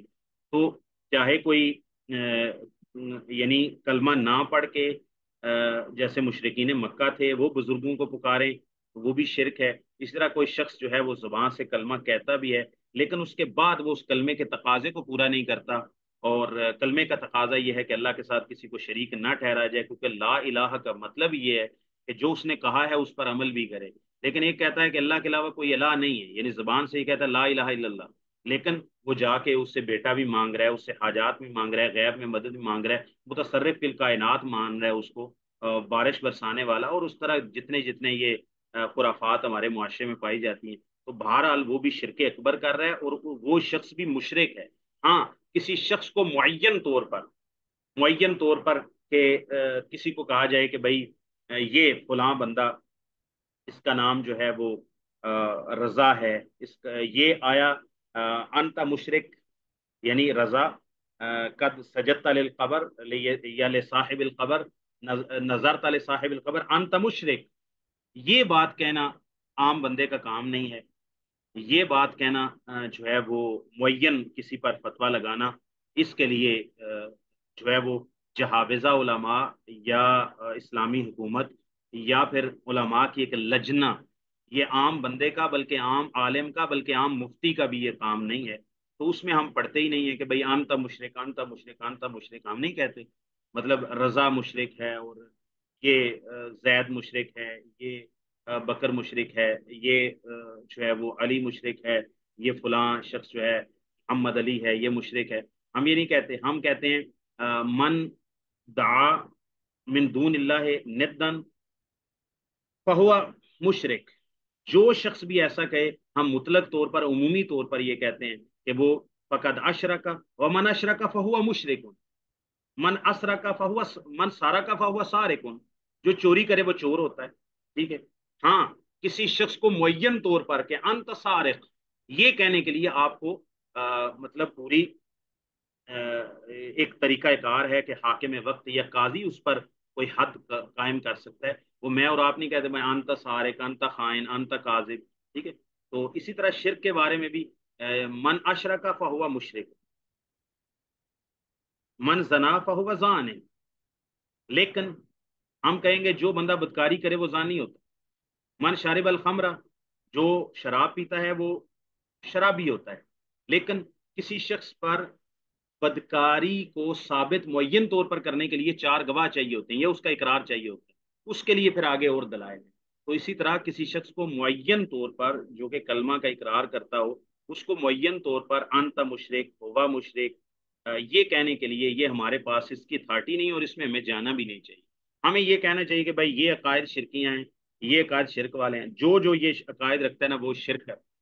بس یہ کہنا ہماری تھارٹی اور اسے ہمیں کھل کر کہنا چاہیے۔ اور یہی صلف صالحین سے اور جب سے یہ شرکے اکبر کا امت میں سلسلہ شروع ہے تو محدثین، امام نے تیمیہ کی کتابیں پڑھ کے دیکھ لیں۔ ان سے پوچھا جاتا ہے، جو بندہ یہ یہ کام کرتا ہے، وہ کیا کہتا ہے؟ وہ شرک کرتا ہے وہ مشرک ہوتا ہے۔ ٹھیک ہے جی؟ ہاں جو بدت کرتا ہے، وہ بداتی ہوتا ہے۔ جو شرک کرتا ہے، وہ مشرق ہوتا ہے۔ جو چوری کرتا ہے، وہ چور ہوتا ہے۔ جو بدکاری کرتا ہے، وہ زانی ہوتا ہے۔ جو شراب پیتا ہے، وہ شرابی ہوتا ہے۔ ٹھیک ہے؟ لیکن کسی کے اوپر اس جرم کو معین طور پر ثابت کرنے کے لیے اس کے قرآن و سنت میں دلائل اور اس کا طریقہ کار اور اس کے پروٹوکولز مختلف ہیں، وہ میرے اور آپ کا کام ہی نہیں ہے، تو ہم اس کام میں پڑے ہی نہیں۔ ہمیں کیا ضرورت ہے؟ ہمیں اللہ تعالیٰ نے مکلف نہیں بنایا کہ آپ نے کہنا ہے کہ زعید انتا مشرق یہ میری اور آپ کی ذمہ داری نہیں ہے۔ تو جو ہماری ذمہ داری نہیں ہے، ہم کیوں اپنے اوپر وہ بھار اٹھا رہے ہیں جو اللہ تعالیٰ نے ہمارے ذمہ لگایا ہی نہیں؟ آفیت بھی اسی میں۔ ٹھیک ہے جی؟ جی محمود بھائی، آپ کا کیا سوال؟ السلام علیکم۔ وعلیکم السلام۔ مشرق اور کافر میں کیا فرق ہوگا؟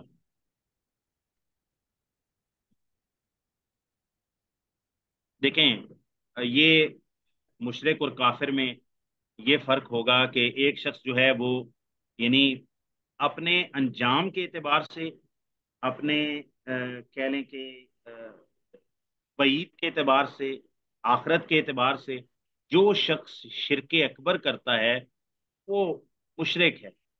خارج انل ملہ ہے۔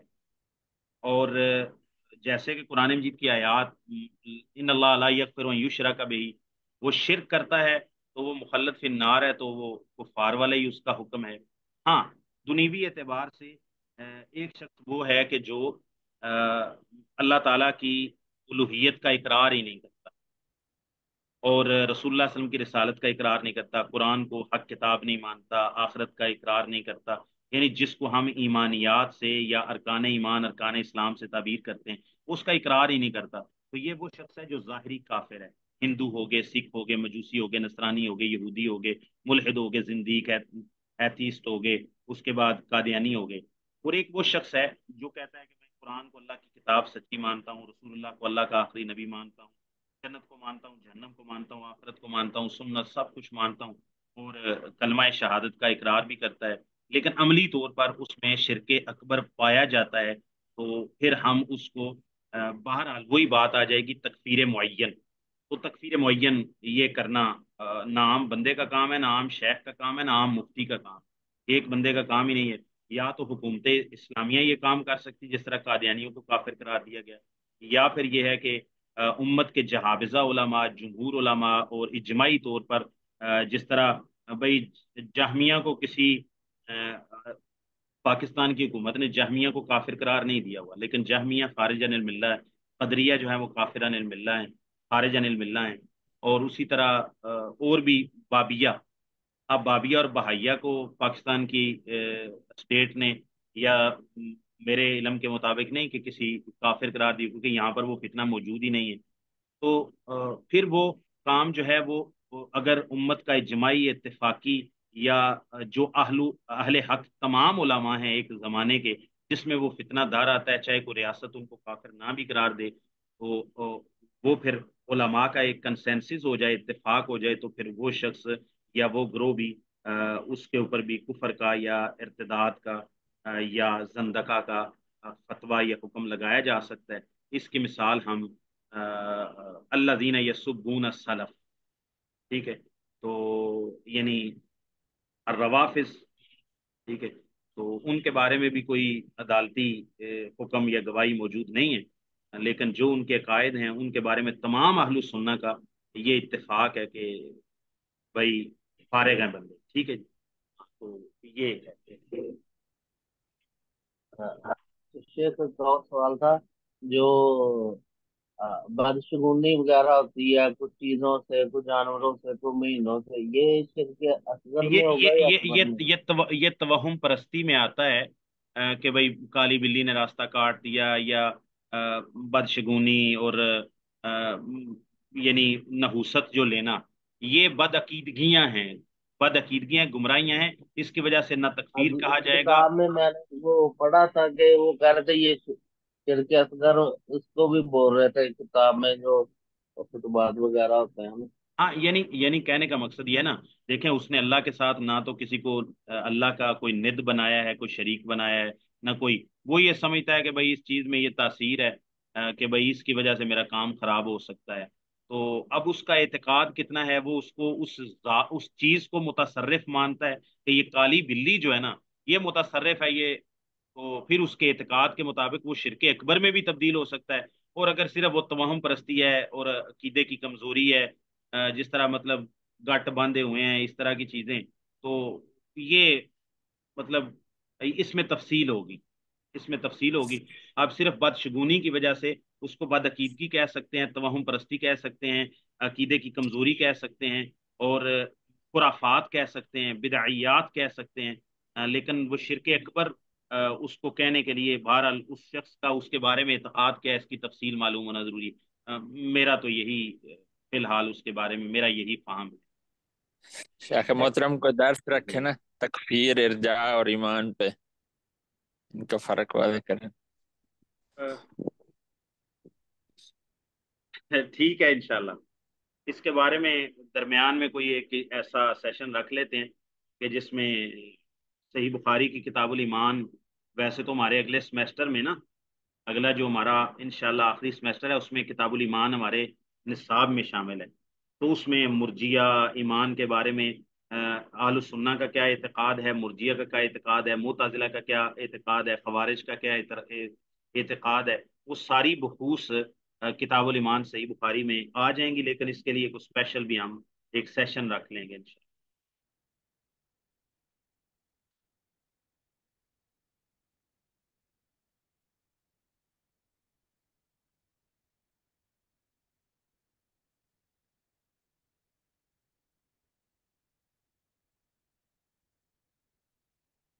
باقی انشاءاللہ سوال جو ہے نا وہ بعد میں پڑھ لیں گے۔ اگلا باب پھر انشاءاللہ آئے گا کہ لوگوں کو توحید کی طرف دعوت دینی چاہیے۔ یہ بھی ہمارا کام۔ جی اور کوئی سوال ہو کسی بھائی کا؟ دیکھیں نا، آپ ہر چیز میں ہم کہتے ہیں کہ بھائی منہج سلف کو اپنائیں۔ تو منہج سلف میں آپ یہ دیکھیں گے نا، تو کسی کے اوپر کوئی فتویٰ لگانا یا کسی کے اوپر کوئی یعنی بہت بڑا کول کرنا ایون کسی کو فاسق بھی قرار دینا مطلب انتا فاسق کہنا کسی کو۔ تو بس اس میں بھی آپ سلف کی، صحابہ تابعین کی، ائمہ دین کی، محدثین کی، تو معین کسی ذات کے بارے میں یعنی کسی فرد کے بارے میں، یا خاص طور پہ جب وہ کلمہ کا اقرار کرنے والا ہو، تو اس کے بارے میں سلف صالحین آپ کو ایسے جری نظر نہیں آئیں گے جس طرح ہم سمجھتے ہیں کہ بھائی، ہمارے پاس یہ ایک تلوار موجود ہے، ہم ہر ایک کو اس سے کاٹ سکتے ہیں۔ تو میں سمجھتا ہوں کہ بھائی، ہماری سلامتی اس میں ہے۔ میں یہ سمجھ لوں کہ ایک بندہ مجھ سے وراثت کے بارے میں مسئلہ پوچھے۔ چلو، وراثت نہیں لیتے، تھوڑی بہت پڑی ہوئی ہے۔ مجھ سے آج تک جس بندے نے خواب کے بارے میں پوچھا ہے نا، تو حدیث کی تمام کتابوں میں کہ تعبیر الرویا کا تقریباً باب موجود ہوتا ہے، وہ حدیث بھی پڑھی ہوئی ہیں۔ اور امام ابن سیرین کی طرف ایک کتاب منصوب ہے جو ان سے ثابت نہیں ہے۔ تو تعبیر الرویا کے بارے میں تو وہ بھی پڑھی ہوئی ہے، اور بھی چیزیں پڑھی ہیں، تو کچھ نہ کچھ اندازہ بھی ہو جاتا ہے۔ لیکن میں نے اپنے اوپر یہ لازم کیا ہے کوئی بھی بندہ مجھ سے خواب کی تعبیر پوچھے تو میں کہتا ہوں بھائی یہ میری ڈومین نہیں ہے۔ مطلب یہ بہت غیبی چیز ہو جاتی ہے ایک اندازہ۔ تو میں کہتا ہوں کہ شیخ عبد الرحمن ضیاء حافظ اللہ تعالی، وہ خواب کی اچھی تعبیر کرتے ہیں اور ماشاء اللہ بڑا اللہ نے ان کو فہم دیا ہے۔ تو ان کا نمبر وغیرہ دے دیتے ہیں کہ آپ شیخ صاحب سے رابطہ کر لیں۔ تو اب ایک چیز میری ڈومین نہیں ہے۔ میں یہ سمجھتا ہوں کہ بھائی یہ میرا کام ہی نہیں میں اس چیز میں فٹ ہی نہیں بیٹھتا۔ تو میں کیوں کروں بھائی؟ ہر بندہ خواب سنائے مجھے، میں نے پھول دیکھا، فلاں، حالانکہ یہ اچھی خواب ہے۔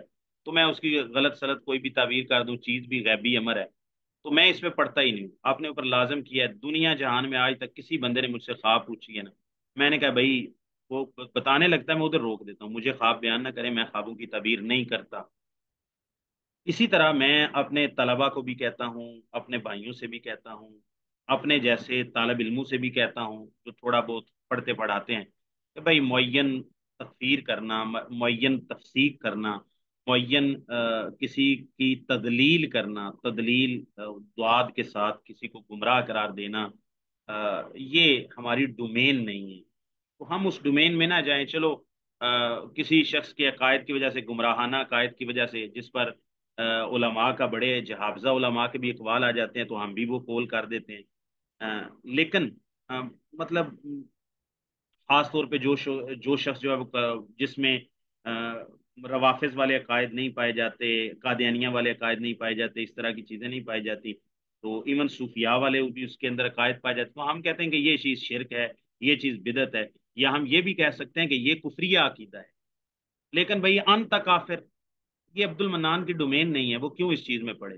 وہ اپنے اوپر وہ گٹھڑی کیوں اٹھاتا ہے جس کا بوجھ اللہ تعالیٰ نے اس پہ ڈالا ہی نہیں ہے؟ اللہ نے یہ میری ذمہ داری لگائی جو میں سمجھتا ہوں کہ میں نے ہر ایک کو کافر قرار دینے یہ کام ہی نہیں ہے۔ آپ اس سے بچ جائیں۔ آپ اپنی زبان کو بھی بچا لیں، اپنی دعوت کے اسلوب کو بھی بچا لیں۔ اور ہمارے سلف نے بالخصوص برے صغیر پاک و ہند کے اندر بڑے حکمت کے ساتھ کام کیا ہے۔ اگر جس طرح آج کل ہم سمجھتے ہیں کہ بھائی ہر بندے کے اوپر ہی فتوے لگاتے جائیں آپ، ان کی بے شمار گمراہی، آپ شرک کو واضح کریں، آپ بدت کو واضح کریں آپ شرکیات کو واضح کریں، آپ شرکیہ امور کو واضح کریں، آپ توحید کا اس بات کریں، شرک کی نفی کریں، شرک کا رد کریں۔ آپ سنت کا اس بات کریں اور بدت کی رد کریں اور بدعتی کا حکم بھی بیان کریں، جو قرآن و سنت میں آیا ہے۔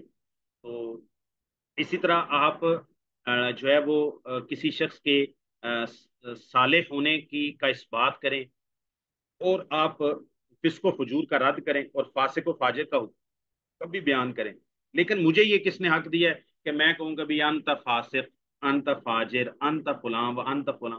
یہ میرا کام نہیں ہے، یہ میری یعنی ایک دائی کے لیے یہ چیزیں نہیں ہیں۔ جہابزہ علماء کا کام ہے، علماء کی ایک کمیٹی بیٹھے لجنا بیٹھے، اس ساری چیزوں پہ غور و فکر کرنے کے بعد پھر وہ معین یا غیر معین جو ہے وہ فتویٰ دیں۔ تو ٹھیک ہے، ہم بھی اس فتوے کو نقل کر دیں گے۔ ٹھیک ہے، مثال کے طور پر اب پوچھتے ہیں لوگ، بھائی سر سید احمد خان کیسا تھا؟ بھائی ہم کہتے ہیں پکا گمراہ آدمی تھا، ملحد تھا، زندیق تھا۔ اس کے، اور یہ کیا بھائی کوئی ہزاروں نہیں مطلب سینکڑوں نہیں، ہزاروں علماء نے اس بندے کی کے بارے میں یہ الحاد کے، زندقہ کے اور مختلف اقوال کیے۔ تو ہمیں کوئی ڈر نہیں ہے۔ جو بندہ کہتا ہے بھائی جنت کا کوئی خارجی وجود نہیں ہے، جہنم کا کوئی خارجی وجود نہیں ہے، فرشتوں کا خارجی وجود نہیں ہے، جنوں کا خارجی وجود نہیں ہے، آدم علیہ السلام کوئی ذات ہی نہیں تھے۔ آدم علیہ السلام تو مطلب یہ جو لوگوں کے ہاں باوا آدم مسجد کا ملا، جس کو باوا آدم کہتا ہے یہ الفاظ ہیں سر سید کے۔ وہ اس کو گمراہ کہنے کے لیے، اب گمراہ یہ میں اپنی علم کے مطابق نہیں کہہ رہا، کیونکہ تمام اہل حق علماء جنہوں نے اس کی فکر کو پڑھا، سب نے اس کے اوپر یہ فتویٰ لگایا تو مجھے کوئی ڈر اور خوف نہیں ہونا چاہیے کہ میں اس کے اوپر یہ فتویٰ لگاؤں۔ ٹھیک ہے؟ آج کی تاریخ میں غامدی صاحب ہمارے سامنے مثال ہے صاحب جو ہے وہ صافتی زبان کے طور پر کہہ رہا ہوں۔ تو ہم کہہ سکتے ہیں کہ بھئی مکمل گمراہی اور معتزلہ کے میں نے تو ان کو نام دیا ہے کہ عصر حاضر میں معتزلہ کے امام جو ہے نا جوید احمد غامدی۔ تو پکا معتزلی آدمی عقل پرست ہے۔ تو اسی طرح غلام احمد پرویز ہے۔ بھائی اس اگر جو وہ بولتا ہے نا، اگر وہ کفر نہیں ہے اگر دنیا میں کفر کا کوئی وجود ہی نہیں ہے۔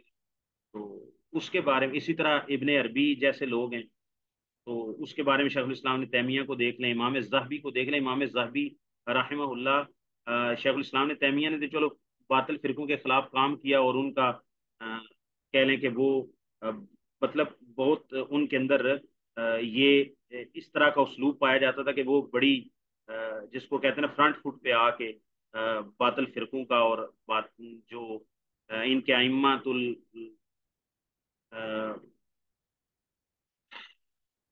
بدا ہیں، ان کا وہ رد کرتے تھے۔ تو امام زابی تو بڑے محتاط آدمی ہیں، وہ تو ایسے بنے ہوئے۔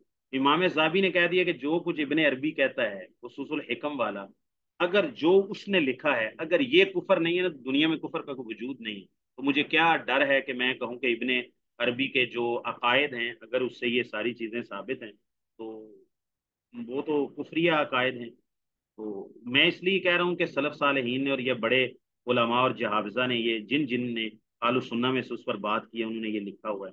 لیکن کوئی شخص کہتا ہے یہ فلاں، آپ کے زمانے فلاں بندہ ہے، تو میں انتظار کروں گا کہ جہابزہ علماء علماء کی لجنہ، علماء کی کمیٹی، فتویٰ کمیٹی وہ اس کے بارے میں کیا رائے دیتے ہیں۔ پھر میں اس رائے کو نقل کر دوں گا۔ نہ کہ میں یہاں پر بیٹھ کے مطلب زارا بھیا زرے وہ پڑھانے والا بندہ اٹھ کے کہہ دے کہ بھائی فلاں بھی ایسا کافر ہے تو فلاں بھی ایسا ہے، تو یہ مجھے اپنے قد سے بڑھ کر بات نہیں کرنی چاہیے۔ یہ بڑا محتاط معاملہ ہے نا۔